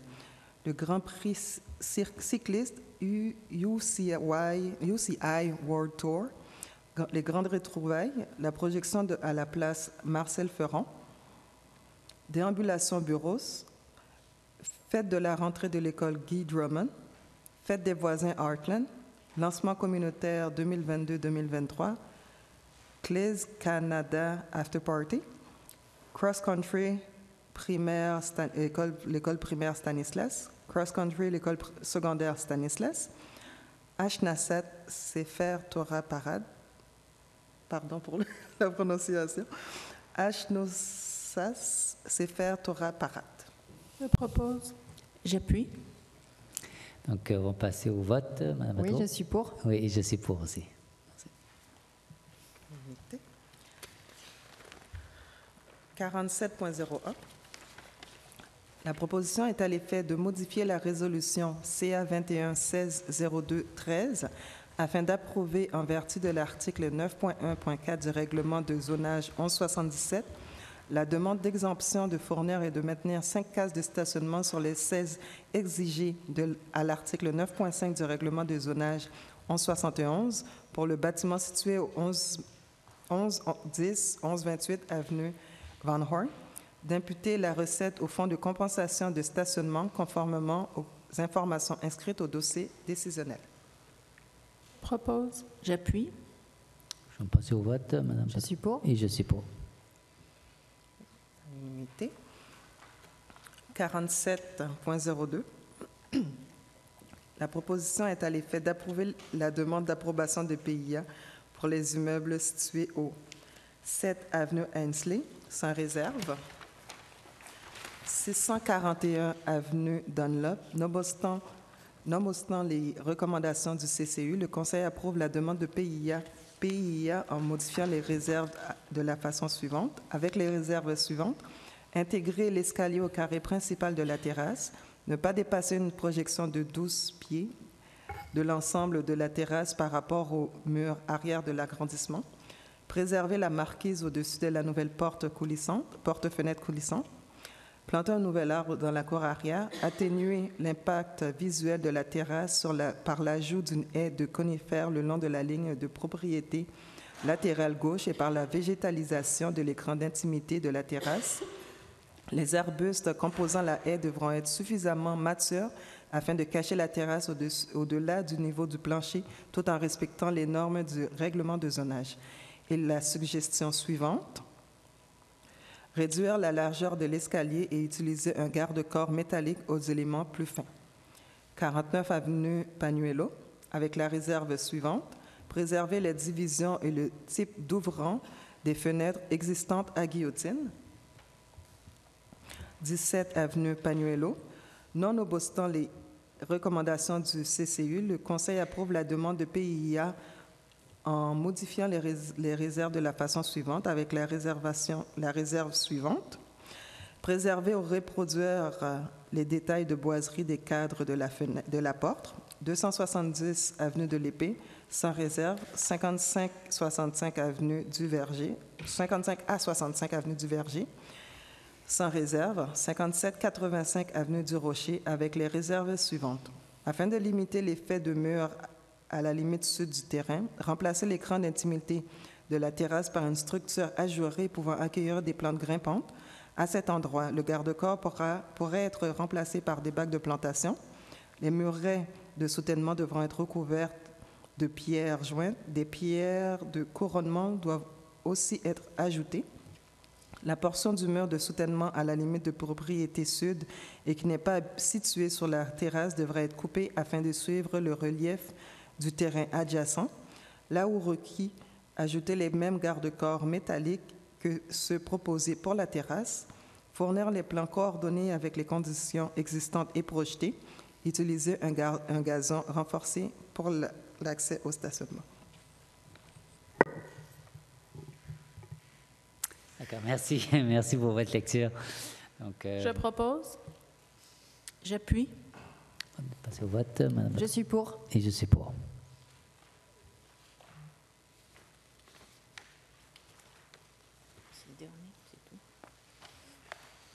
Et donc, euh, je pense que c'est le dernier point. Oui, 61.01, c'est un dépôt. Dépôt des comptes rendus des rencontres du comité aviseur en urgence climatique de l'arrondissement d'Outremont des 26 mai, 13 juin et 21 juin 2022.